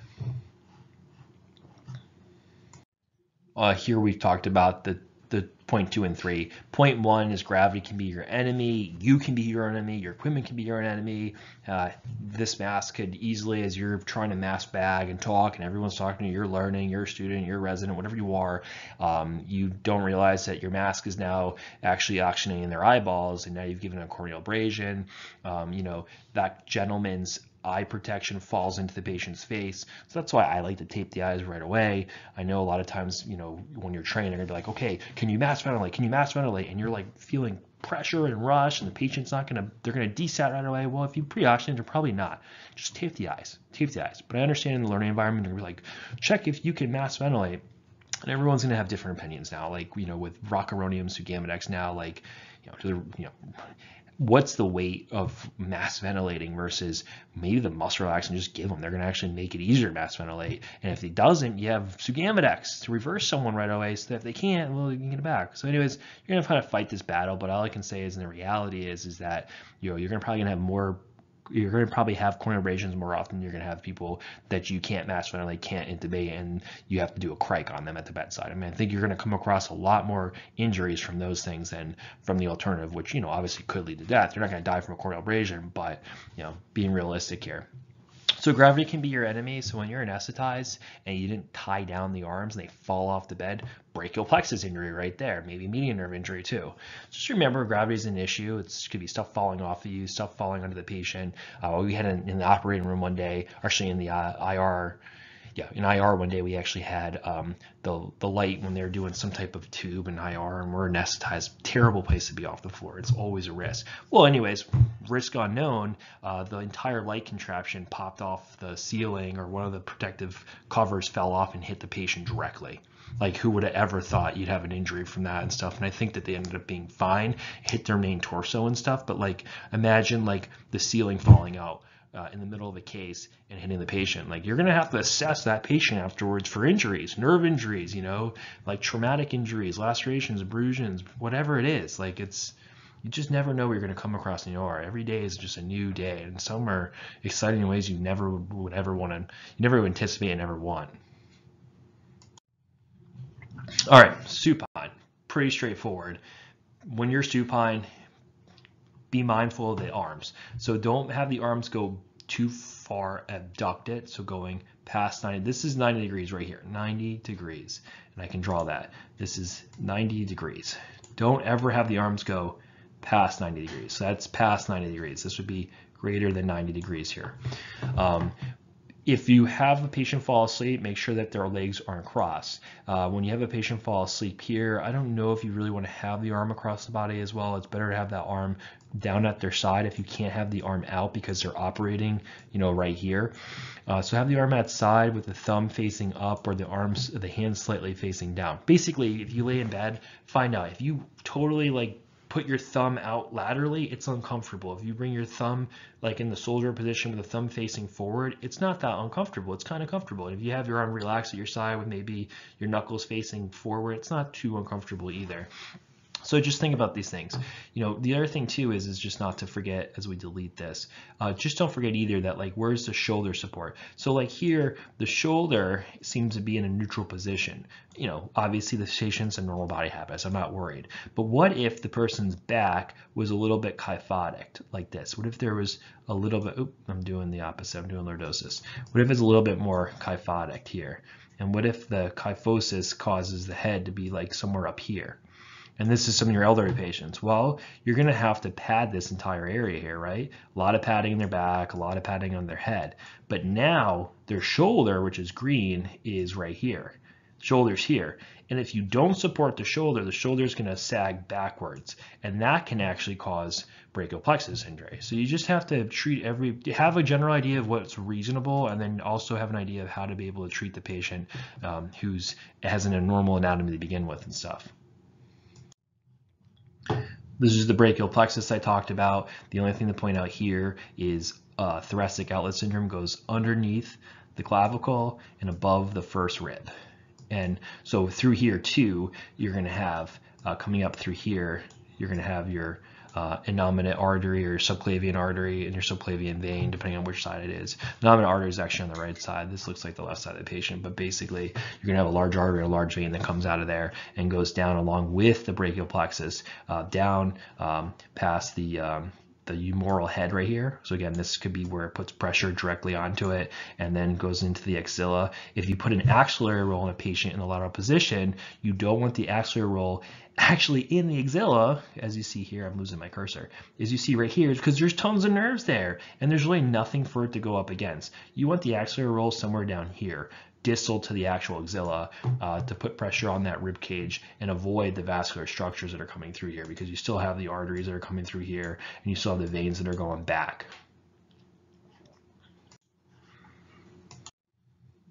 Prone can be a little scary. You're turning a patient who's probably been intubated in the supine position on a stretcher onto the operating room table. You have a lot of lines to worry about. You have to worry about the circuit. You have to worry about the patient being extubated. Uh, so just a lot of concerns and stuff. Uh, maybe you turn prone, something happens with the airway. Uh, so when you do prone patients, the stretcher should never be removed from the room until you're totally confident that the patient's safe. They're on back on the monitor, back on the machine. You've re-listened to breath sounds on both sides, and then start hooking them back up to the monitors. Should you turn them and take things off? and then put them back on. Some people want to keep things on the whole time. Do whatever your facility says is right. But every time you turn a patient, either lateral or prone, you should always recheck for bilateral breath sounds and stuff and make sure your tube is still in. Um, prone is, you know, a case for all these different reasons. You can do them for a lot of back surgeries, buttocks areas, perirectal areas, and so on. Um, proning patients is a team effort, which is being led by the anesthetist. So whoever's in charge of anesthesia, if you're the if you're the anesthetist, you're calling the turning and you're dictating what happens next. You know, a lot of people are going to want to try and rush to start the procedure and get things set up and get the surgeon ready, but until that patient's back on the monitors and, and is safe and being and, and, safe and ventilating, you know, everyone should be helping you achieve that and stuff. Um, so when you turn prone, you need to be prepared for like how are you going to be able to support the thorax, the hips, and the face. Those are probably the most important things. The goal being too is that however you support this stuff leaves room for the abdomen to be free, free from um, from pressure, right? So you don't want someone who's, you know, if they're large, anyone in general, you want them laying on their stomach because that's going to impede the actual downward movement of the um, of the diaphragm. So there's two ways to set that up. One way is then what we see in this picture here is they have um, they have these chest bolsters set up in a longward fashion. So it's going to pretty much go uh, on the side of their chest down to like their you know relatively their iliac crest right here. It's going to support their weight this way and this way, kind of parallel to each other.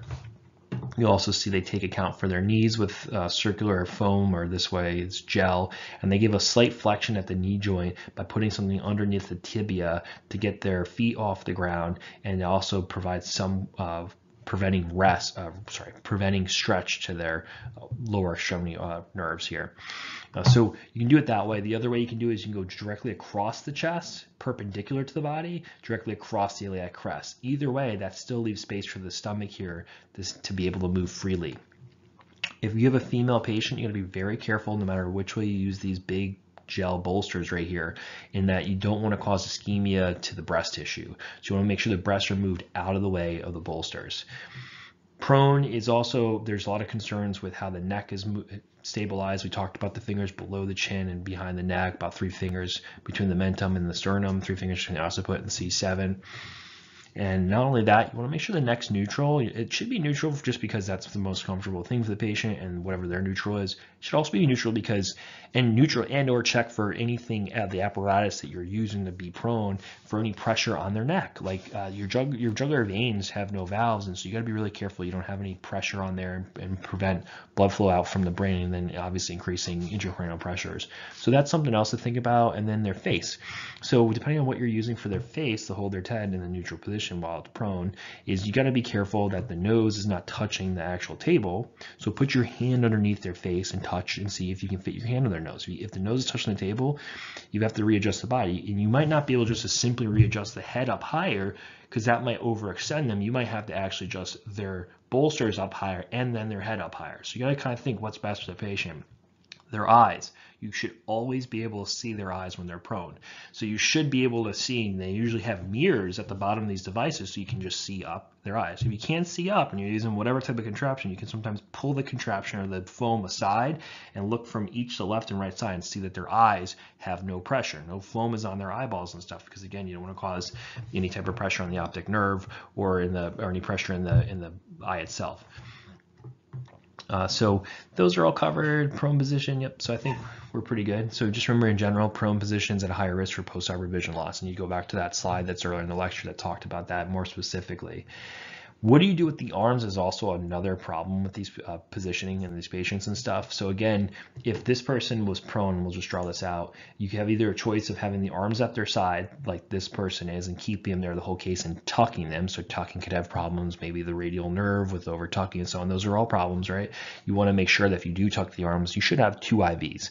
I recommend two IVs because if one gets positional during a case or God forbid it comes out for some reason, um, you got another one as a backup. You don't have to uh, you know, there's no way to really get under there and put an IV in. I've done it, but it's really not worth the hassle and stress.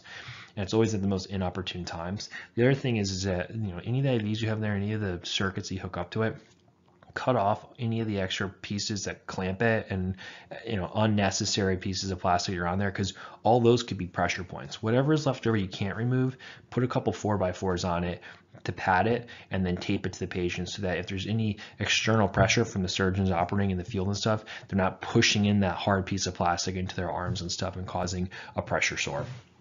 So that's arms talk. Now, if they turn prone, there's another way you can do it. So here's your head. This person's prone. Here's their body. Here's their legs. And now the next thing you got to worry about is their arms. So like, you know, arms could have been parallel, but in this case, arms are going to be no more shoulder and arm at 90 degrees. And so this is the next thing you got to worry about. So you don't want to ever have the arms be 90 degrees. 90 degree at this joint right here is not good, right? Or more than 90 degree. And then the other area you don't want to go past 90 degrees is right here at the shoulder. So this is the next area. You don't want to go past 90 degrees, which is the shoulder. Again, this is the person's head right here. So you don't want to go past 90 degrees at the shoulder. You don't want to go past 90 degrees at the elbow, right? So you, if you had to maybe pick like a perfect looking patient and stuff, maybe the patient would look like this. Uh, actually, you know what? We'll go like this. Like that. And then this is the person's like body right here. It's a little hard to draw. Head head. All right, so there's your head. So right here, shoulder's not uh, over abducted past 90 degrees. And right here, the elbow joint, the axis of the elbow, is not over 90 degrees, but it's also not fully extended out because you don't want to stretch it that way either. So this is a pretty reasonably looking patient. You change your uh, your field, and you got to also remember too, if you're looking at this from a side view, and now here's the patient's head, and here's their body in a side view, you want to make sure that their shoulder right here doesn't go too far down and doesn't go too far up as well. Because you can still have injury to the nerves and or compression to the vasculature as well in that area. And if it does look like that or you're seeing signs of it, if you just take some towels and put it underneath the uh, anterior deltoid, you can sometimes give a little bit of lift to that. And that's what one of the neurosurgery chiefs taught me. So here's two examples of being in the prone position. There's a lot of different ways you can do this. Not everyone's going to have the same type of equipment at all the different facilities that you go to. So we'll just kind of some surmise here. These two patients, what's the good and the bad? So uh, patient to the right here, let me just on my little pen. Look, the shoulders are over abducted. This is supposed to be 90 degrees. I'll try and draw 90. And instead we're more like 110, 120 degrees, something more than that. So not good. You can't get through this whole case like this. It just wouldn't be correct. Um, and then on top of it, you know, the person is turning um, is turning into their their arm and stuff. Uh, but I guess both arms are up. I mean, look, uh, not to overcomplicate things, the arms don't look good. Um, the head is turned to the side, so you might risk some brachial plexus issues on the left side there. Um, because it's facing away. Theoretically, I'd be curious about what, what's going on with the eye over here on the left side as well. It does look like it's taped. Is the nose hitting anything? Um, they're deciding in this case to use bolsters uh, underneath the iliac crest, underneath the chest here, which is fine. That's leaving the abdomen free and clear so that the diaphragm can push caudal and, and not be obstructed.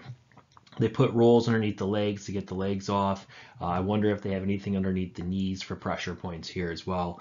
Um, not bad. Maybe you want to consider a little bit of reverse Trendelenburg with the head up a little bit. Obviously not that much, but a little bit to help uh, facilitate venous drainage and reduce interstitial edema in the brain or in the head, wherever, head, neck, throat.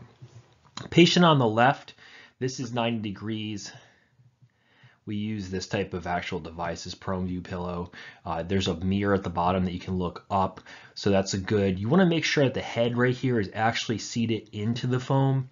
And in some cases, if people are being flipped, let's say for a lumbar procedure, but they have an they have a neck fusion. Uh, I've found patients with absolutely no weight actually on their heads. The neck is holding the head off the bed. That is terrible. So again, make sure that the head is actually resting and, and evenly displacing pressure within this foam pillow, this foam contraption. There's the mirror, like I said, you can see the eyes. Um, you can want to make sure the nose is not touching the mirror down here. Uh, the hands, this is not, oh, this is, you know, this is flexed about 90 degrees. I wouldn't go more than 90 here at the disc joint at the elbow and stuff. I wouldn't go more than 90, but that looks pretty reasonable. Uh, patient's legs are up slightly, and I don't think there's anything underneath the knees here. Uh, this one in this particular type of device, you do have to worry about a lot of heat loss underneath the patient. So sometimes people will put like blankets or type of heat uh, air heat device underneath the patient to help keep them warm. And then you'll put another device across their shoulders to keep their upper body warm if it's possible, depending on how many level fusions that they're doing.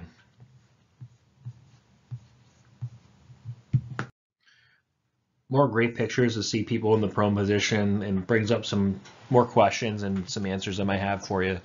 So we talked about most of this stuff. Um, people can be put in pins also for cervical posterior neck um, surgeries. So you might see the Mayfield pins for more than just cranies. Uh, putting neck pins in is extremely, extremely stimulating. So you basically go from like not much stimulation, you've you flip the your it's before you flip obviously. You put the pins in before you flip. The neurosurgeon's doing everything with the head. They're calling the shots when you're we have pins and they do everything. You're just watching the airway. But anyways they're supine you've intubated them. You've put your lines in. You got your a line in. You're ready to go. The next thing is to flip the patient. So before you flip the patient they put the pins in. So just remember, you go from like not much stimulation, so lots of stimulation, intubation, then you're trying to get organized. You know, A-line doesn't hurt that much when you're anesthetized. So you probably have your anesthetics on the lower side because you're kind of in between, right?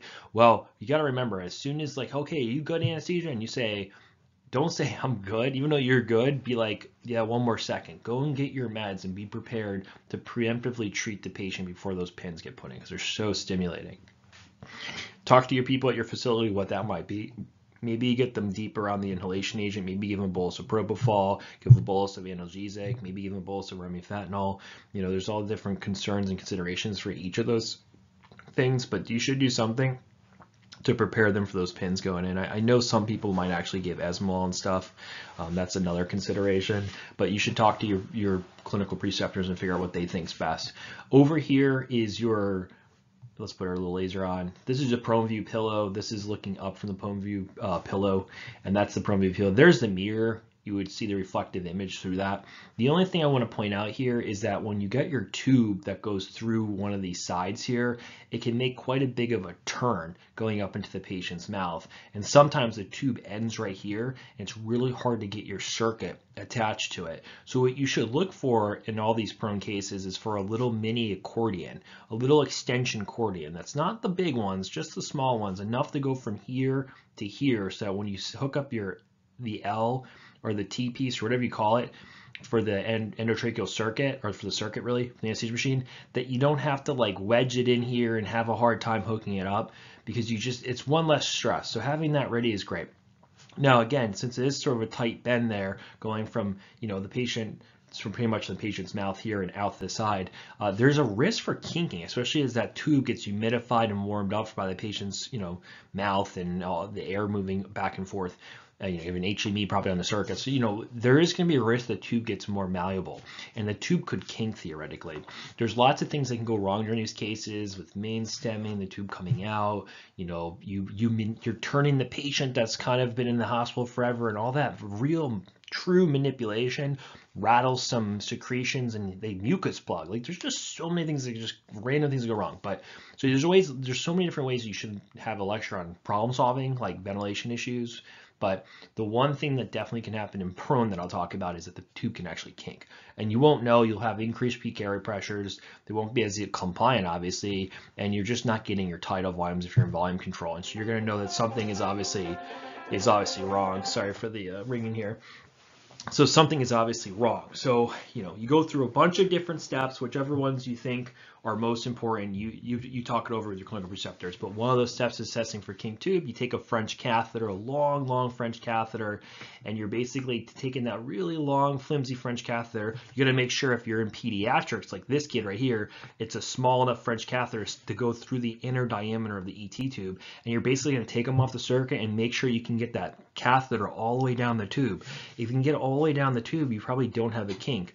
Uh, this solves two problems. One, you figure out if you have a kink or not. And then two, it also tells you if you have secretions that are plugging the tube somewhere, you can hopefully suction those out. You may also be able to do a little saline flush down the tube. It's it's not easy, but you can try to get a saline flush down the tube. Uh, it's going to be kind of creative to do that. You might have to actually use a French catheter to the saline flush through and then suction out. But anyways, that could be another problem that you're solving with it. But yep, French catheters should always have them. For peds, always have them, and always have them for proning patients too. There's some more pictures here. I'm quickly looking at this to see what stands out as being abnormal. You know, I don't know if the patient right here, if their arms are a little bit far abducted. I don't think they are. This seems pretty reasonable here. You know, I, I'd say it looks reasonable without being closer to see. Check the eyes maybe with this patient. The top right here is obviously, you know, one of the surgical residents, probably, or anesthesia residents, maybe. Um, looks pretty good, actually. Looks pretty reasonable. Um, can't see behind them. I don't know. Looks like they have just towels or blankets are using as bolsters. They seem appropriate. I'd love to see what the neck looks like. The neck with these foam pillows can sometimes be a little extended. So sometimes like what happens is you get these big foam blocks. If the bolsters aren't actually high enough, this is disproportionately larger than that, and then the head gets too extended back.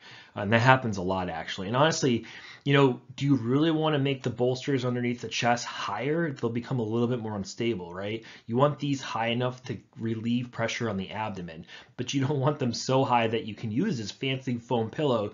So what I'd probably do is, is customize the pillow, keep the bolsters to just one. Don't start stacking these if you don't have to.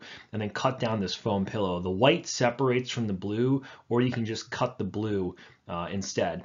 This below picture, these arms are abducted too far forward. And actually, if you look right here, this, this, this shoulder looks like it's down too far.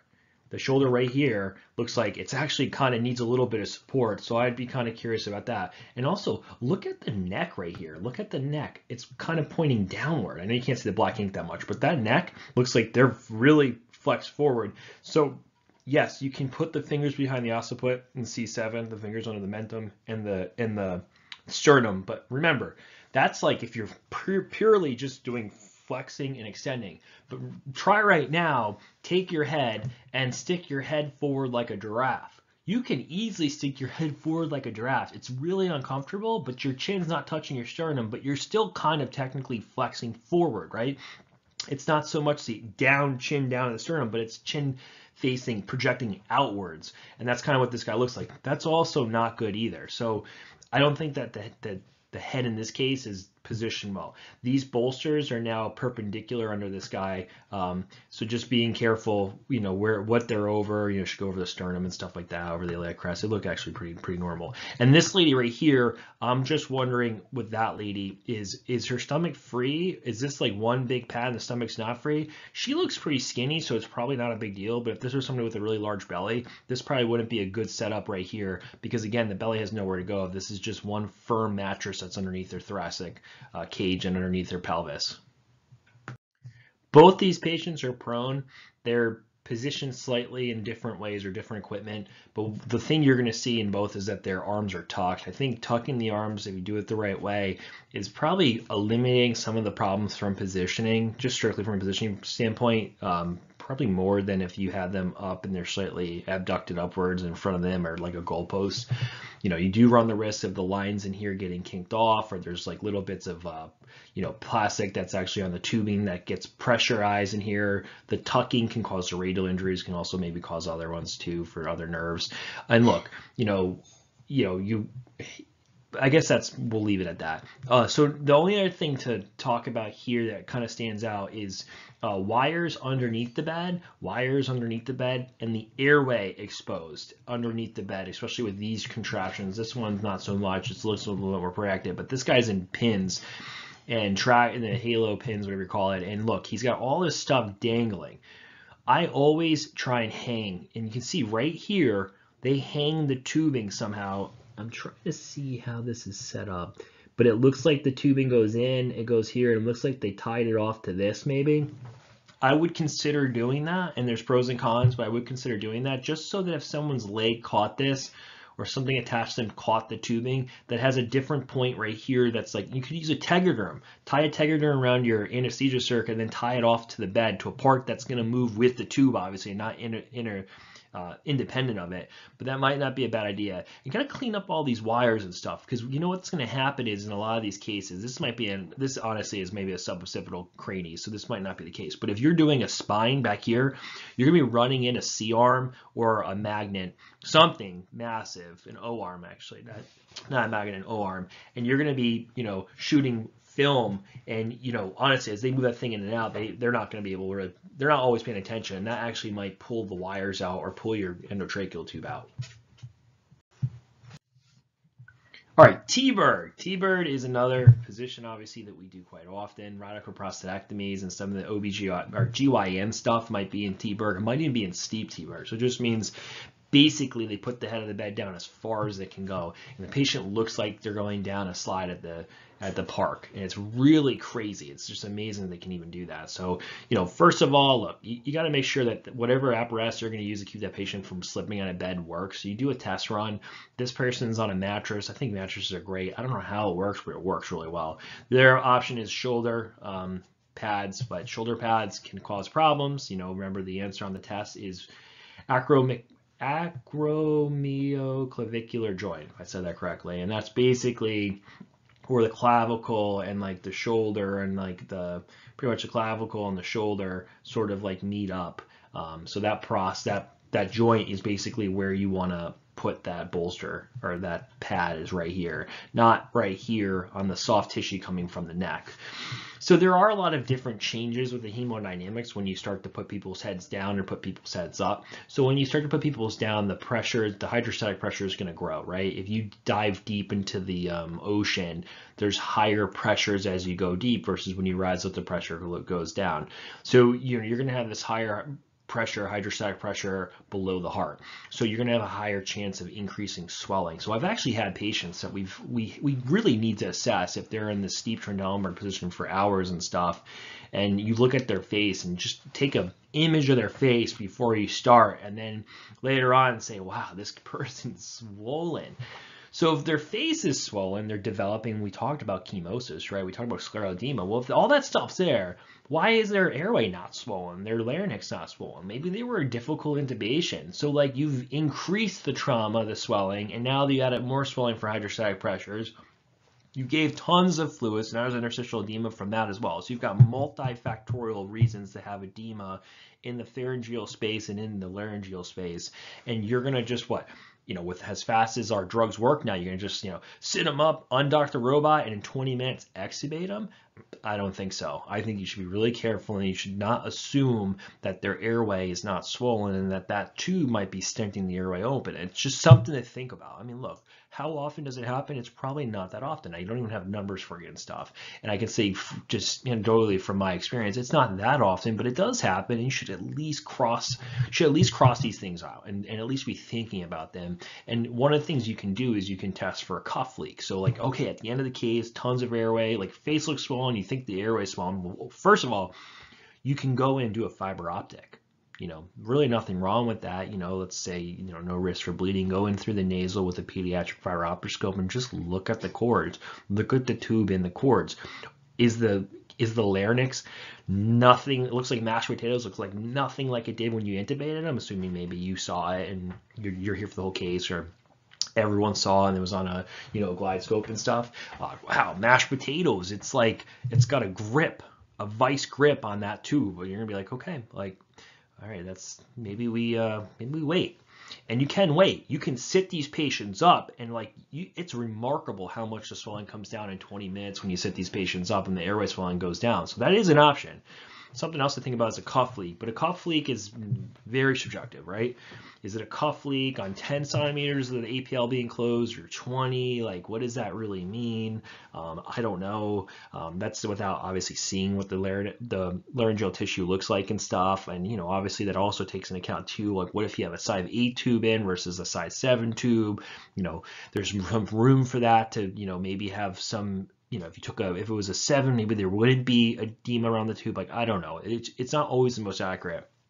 A, a more objective way to assess for a cuff leak is to simply put them on volume control and then set your tidal volumes at, you know, whatever you want that's normal within normal tidal volumes based on ideal body weight. So six to eight cc's for ideal body weight.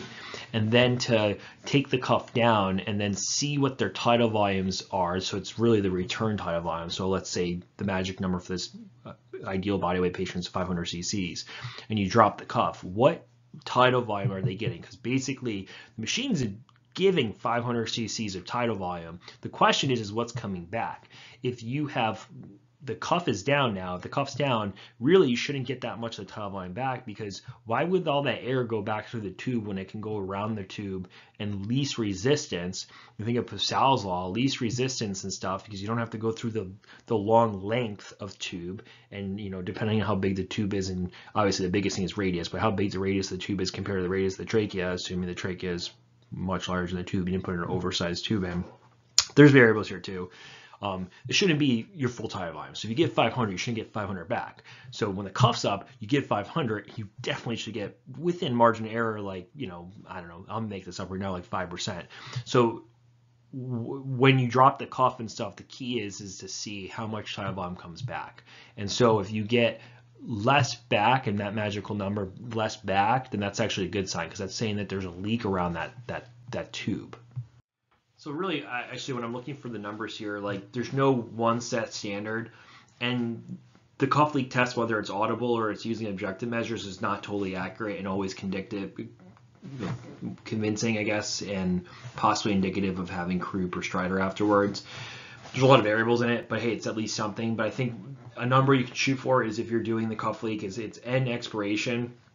So if you're able to drop the cuff after inspiration and on expiration and then assess the difference between inspiration and expiration. It's about 25%. If it's more than 25%, you might have problems and stuff. Again, it's sort of subjective here. All right, moving on. So look, when you're in steep Trendelenburg, your stomach contents are being pushed towards your, uh, you know, chest here. So you could have a risk for aspiration. I always put in gastric tubes before you flip these people steep T-Berg if it's appropriate and there's no contraindications. Uh, people can't breathe like this if your head's down that far. So these people have to be intubated. You're not doing uh, artificial airway or natural airway general anesthesia with these people. Their FRC decreases because they're they can't move their diaphragms down and all their abdominal contents are pushing into their lungs. There's like no space to ventilate the lungs, so your FRC goes down. You become less compliant. So these are you know these are all risk. Um, everything above the heart is a risk for venous air embolism. So you know if you had that, you'd probably have to put a central line in if it came really bad to get the air out. Talked about the shoulder supports and sheets and so on. Uh, so moving on. Here is another image of what steep T-Berg can look like. This is absolutely steep. So this person's on a sheet, therefore they have to have shoulder rolls. The shoulder rolls are right over the acromioclavicular joint. Uh, I'm probably butchering that to be honest. Uh, so just remember that, you know, put that in the right spot, not on the trapezius muscles where the brachial plexus is coming off the neck here.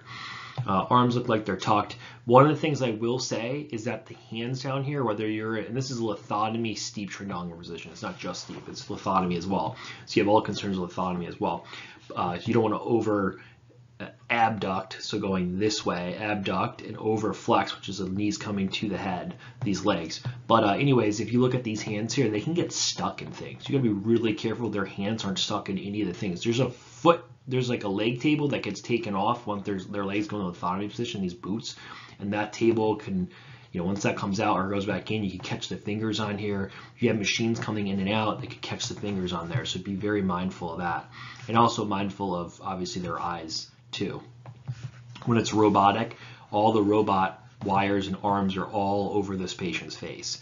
And so I'll usually, we at our facility will put eye goggles on and we'll put a donut foam roll with the tube going through the middle over their face, and then I'll put my hands through the drapes and tell the surgical team, can you guys just draw in here and say that this is where their face is, so that as they throw their things around the field, they're not tossing heavy equipment right onto their face. Okay, just, you know what, another uh, example of where we would put the, the bolsters or like the shoulder pads are going to go right here. So this is the proper placement at the acromioclavicular joint. Reverse T-Berg is just the opposite. So sometimes they'll use people's feet to help hold themselves up. You're going to have a lot more hemodynamic instability with this because now your all of your blood's going to pool. All the hydrostatic pressures down here. It's not helping the, the, the heart with um, blood flow, preload.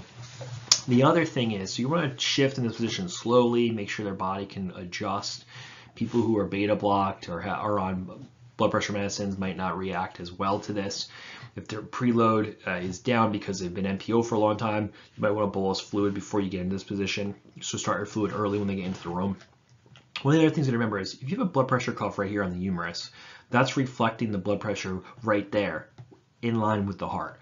What it's underappreciating is and underestimating is what the actual pressure is in the brain. So if you have a map of 65 here, your map in the brain might not be 65, it might be 55. So you got to remember that, you know, the, as far as where you put your blood pressure, or if it's a transducer, you think, oh, put the transducer A line at the phlebostatic axis right here. No, you know what? You're probably more worried about is the brain. So put the uh, put the transducer at the tragus, which is relatively at the circle of Willis of the brain, so that it's actually reflecting what the pressure is at the circle of Willis and not at the heart.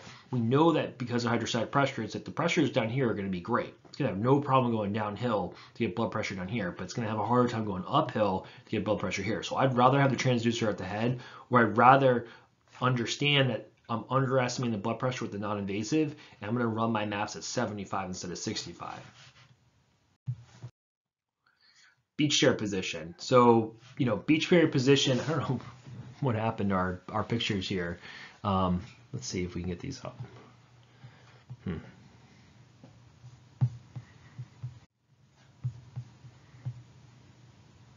Okay, here we go. Beach chair position. Well, that's a really nice beach chair. I wish we were all there right now. All right, this is more typical of your beach chair position here. This is, I think we have one more picture. Yep, one more picture. All right, so you're you're sitting up.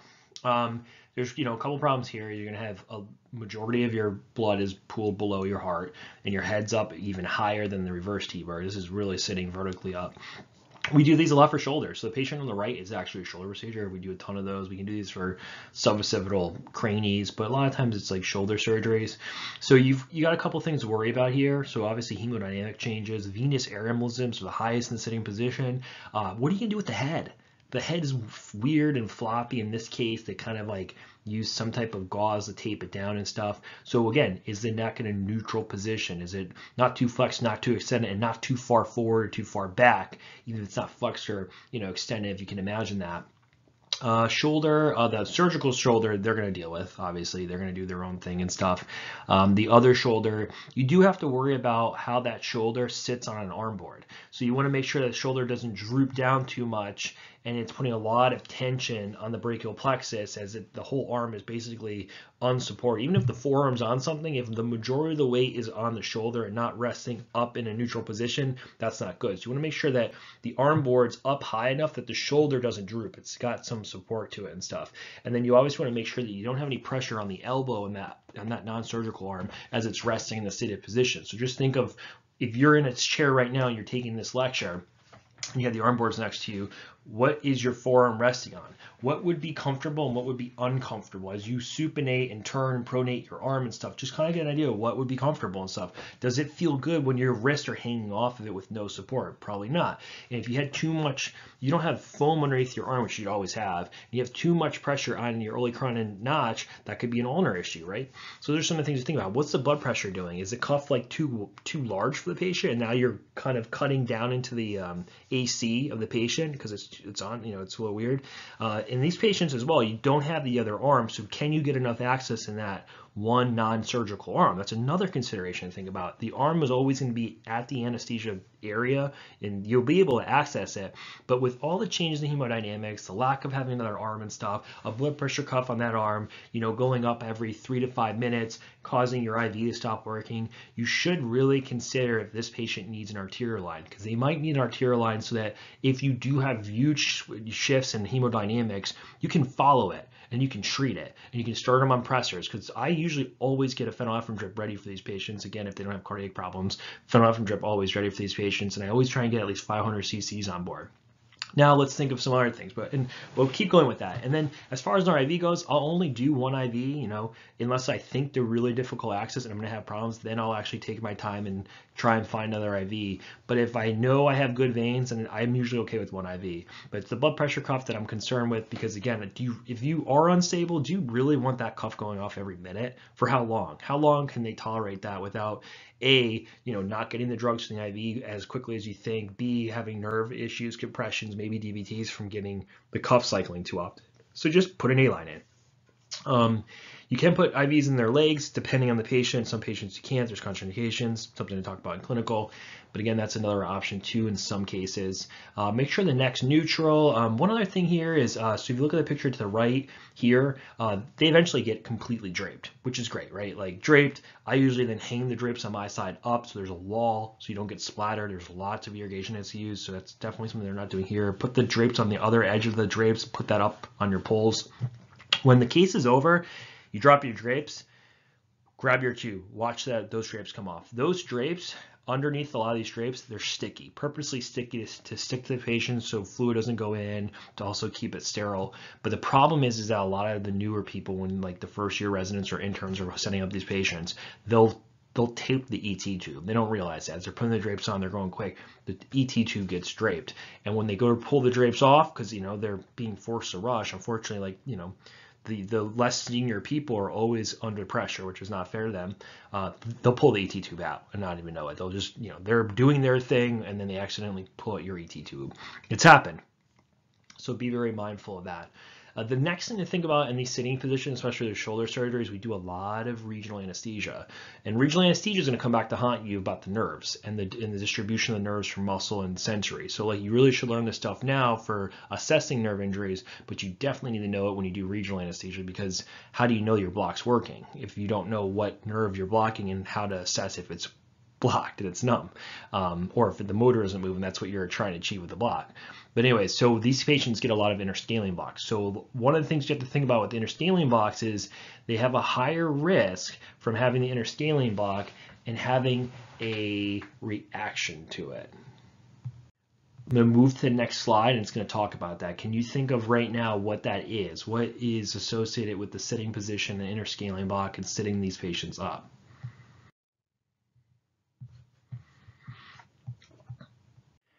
So if you were able to guess this, congratulations. It's the Bezold-Jarisch reflex. Uh, you will absolutely be pimped on this question in clinical settings, so definitely learn it. so again, it's, you know, it's from the interscalene block mixed in with probably not having enough preload, mixed in with like sitting the patients up, and they're going to have this like excessive amount of hypotension and bradycardia. Some people say that you can attenuate this with like a little bit of 5-HT3 inhibition, so giving Zofran and stuff. I mean, I guess it doesn't hurt, give Zofran. I don't know if the literature really supports that anymore. But, you know, be prepared for it. Make sure you get at least 500 cc's on board of fluid if they're able to get that, no cardiac concerns and stuff before you set them up. And just don't just sit them up from, you know, zero degree to 90 degrees right away. Like uh, the surgeon's going to want to do that, but just go go slow go slow possibly pre-treat with phenylephrine and ephedrine depending on what their heart rate is and you know pre-existing medical conditions right? Consider pre-treating staying ahead of it and stuff. Um, if they do become like really if they really become unstable and their blood pressures drop they become bradycardic look they haven't started surgery.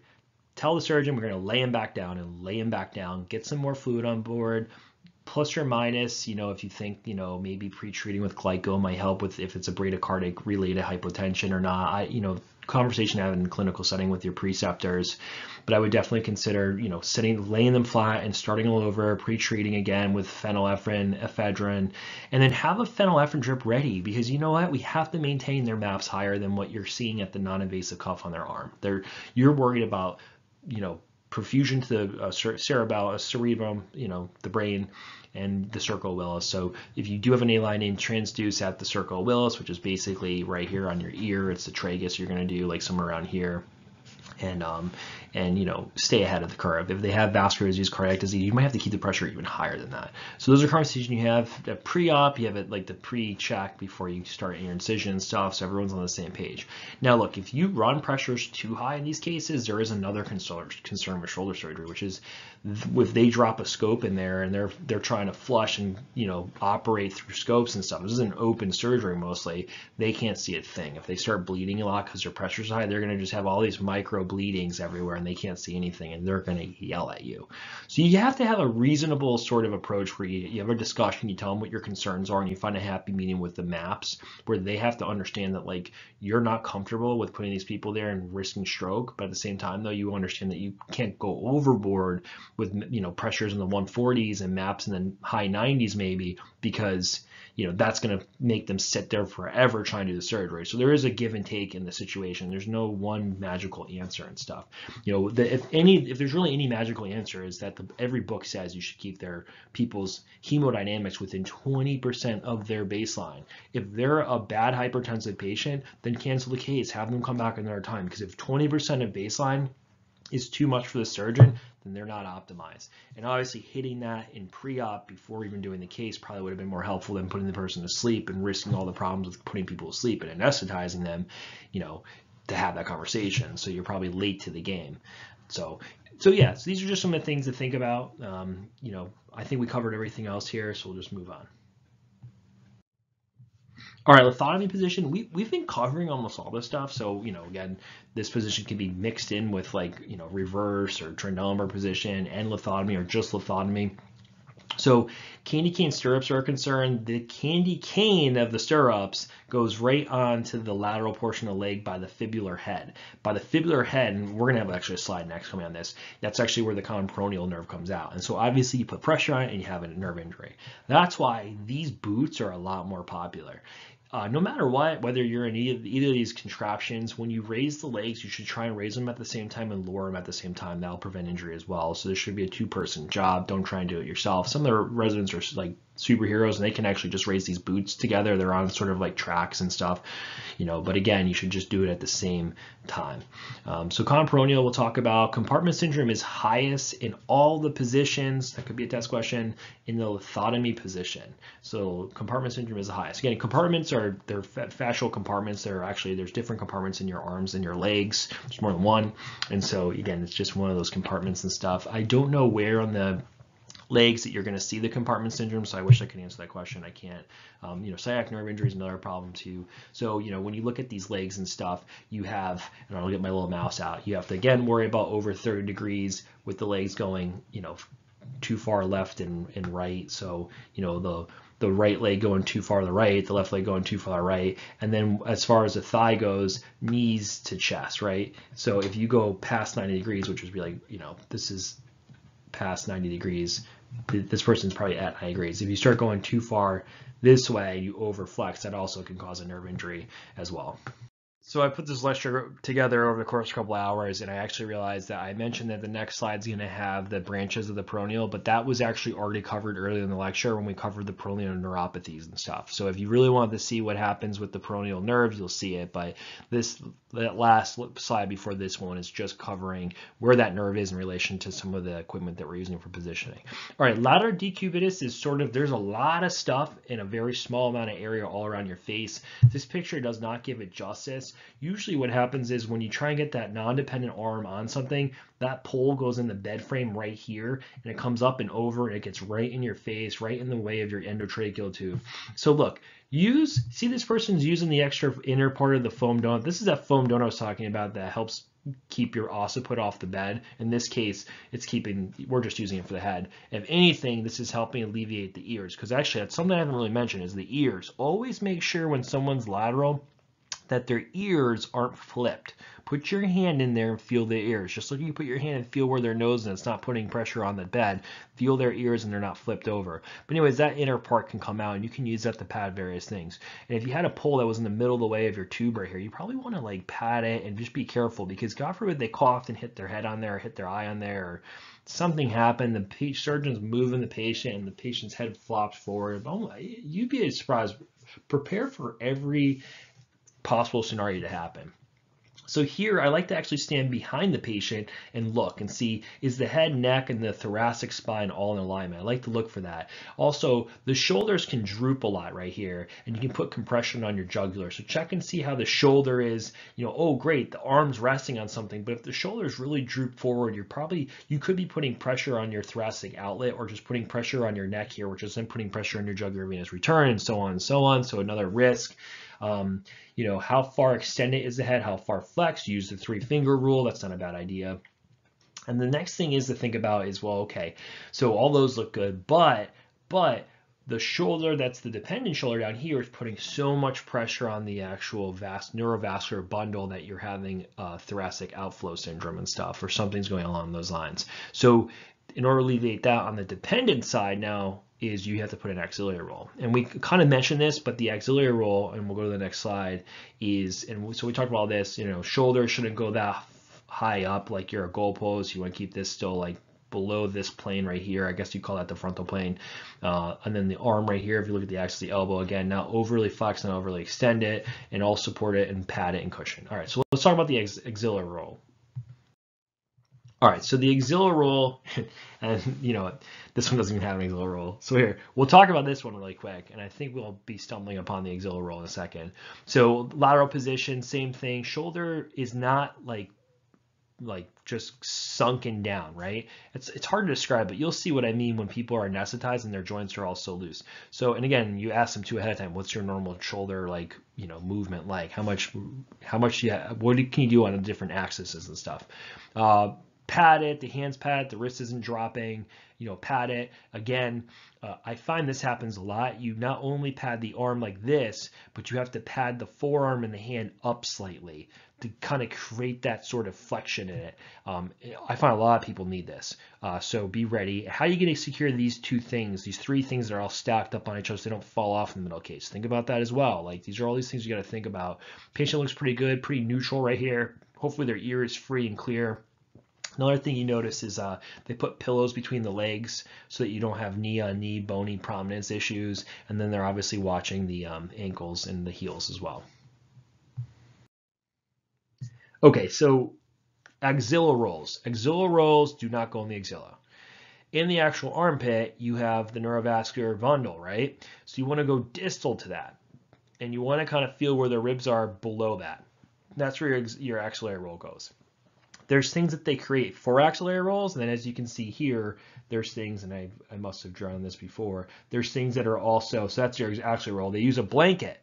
Other times you use a one liter bag of saline on an adult. You know, obviously different for kids. So you actually have a nice gel roll that's for the axillary roll, release pressure in the axilla for the actual shoulder to sit comfortably and for no compression on the neurovascular bundle axillary rolls are, you know, should all you should use them. I don't know why you, you wouldn't use them, but you should you should definitely use them.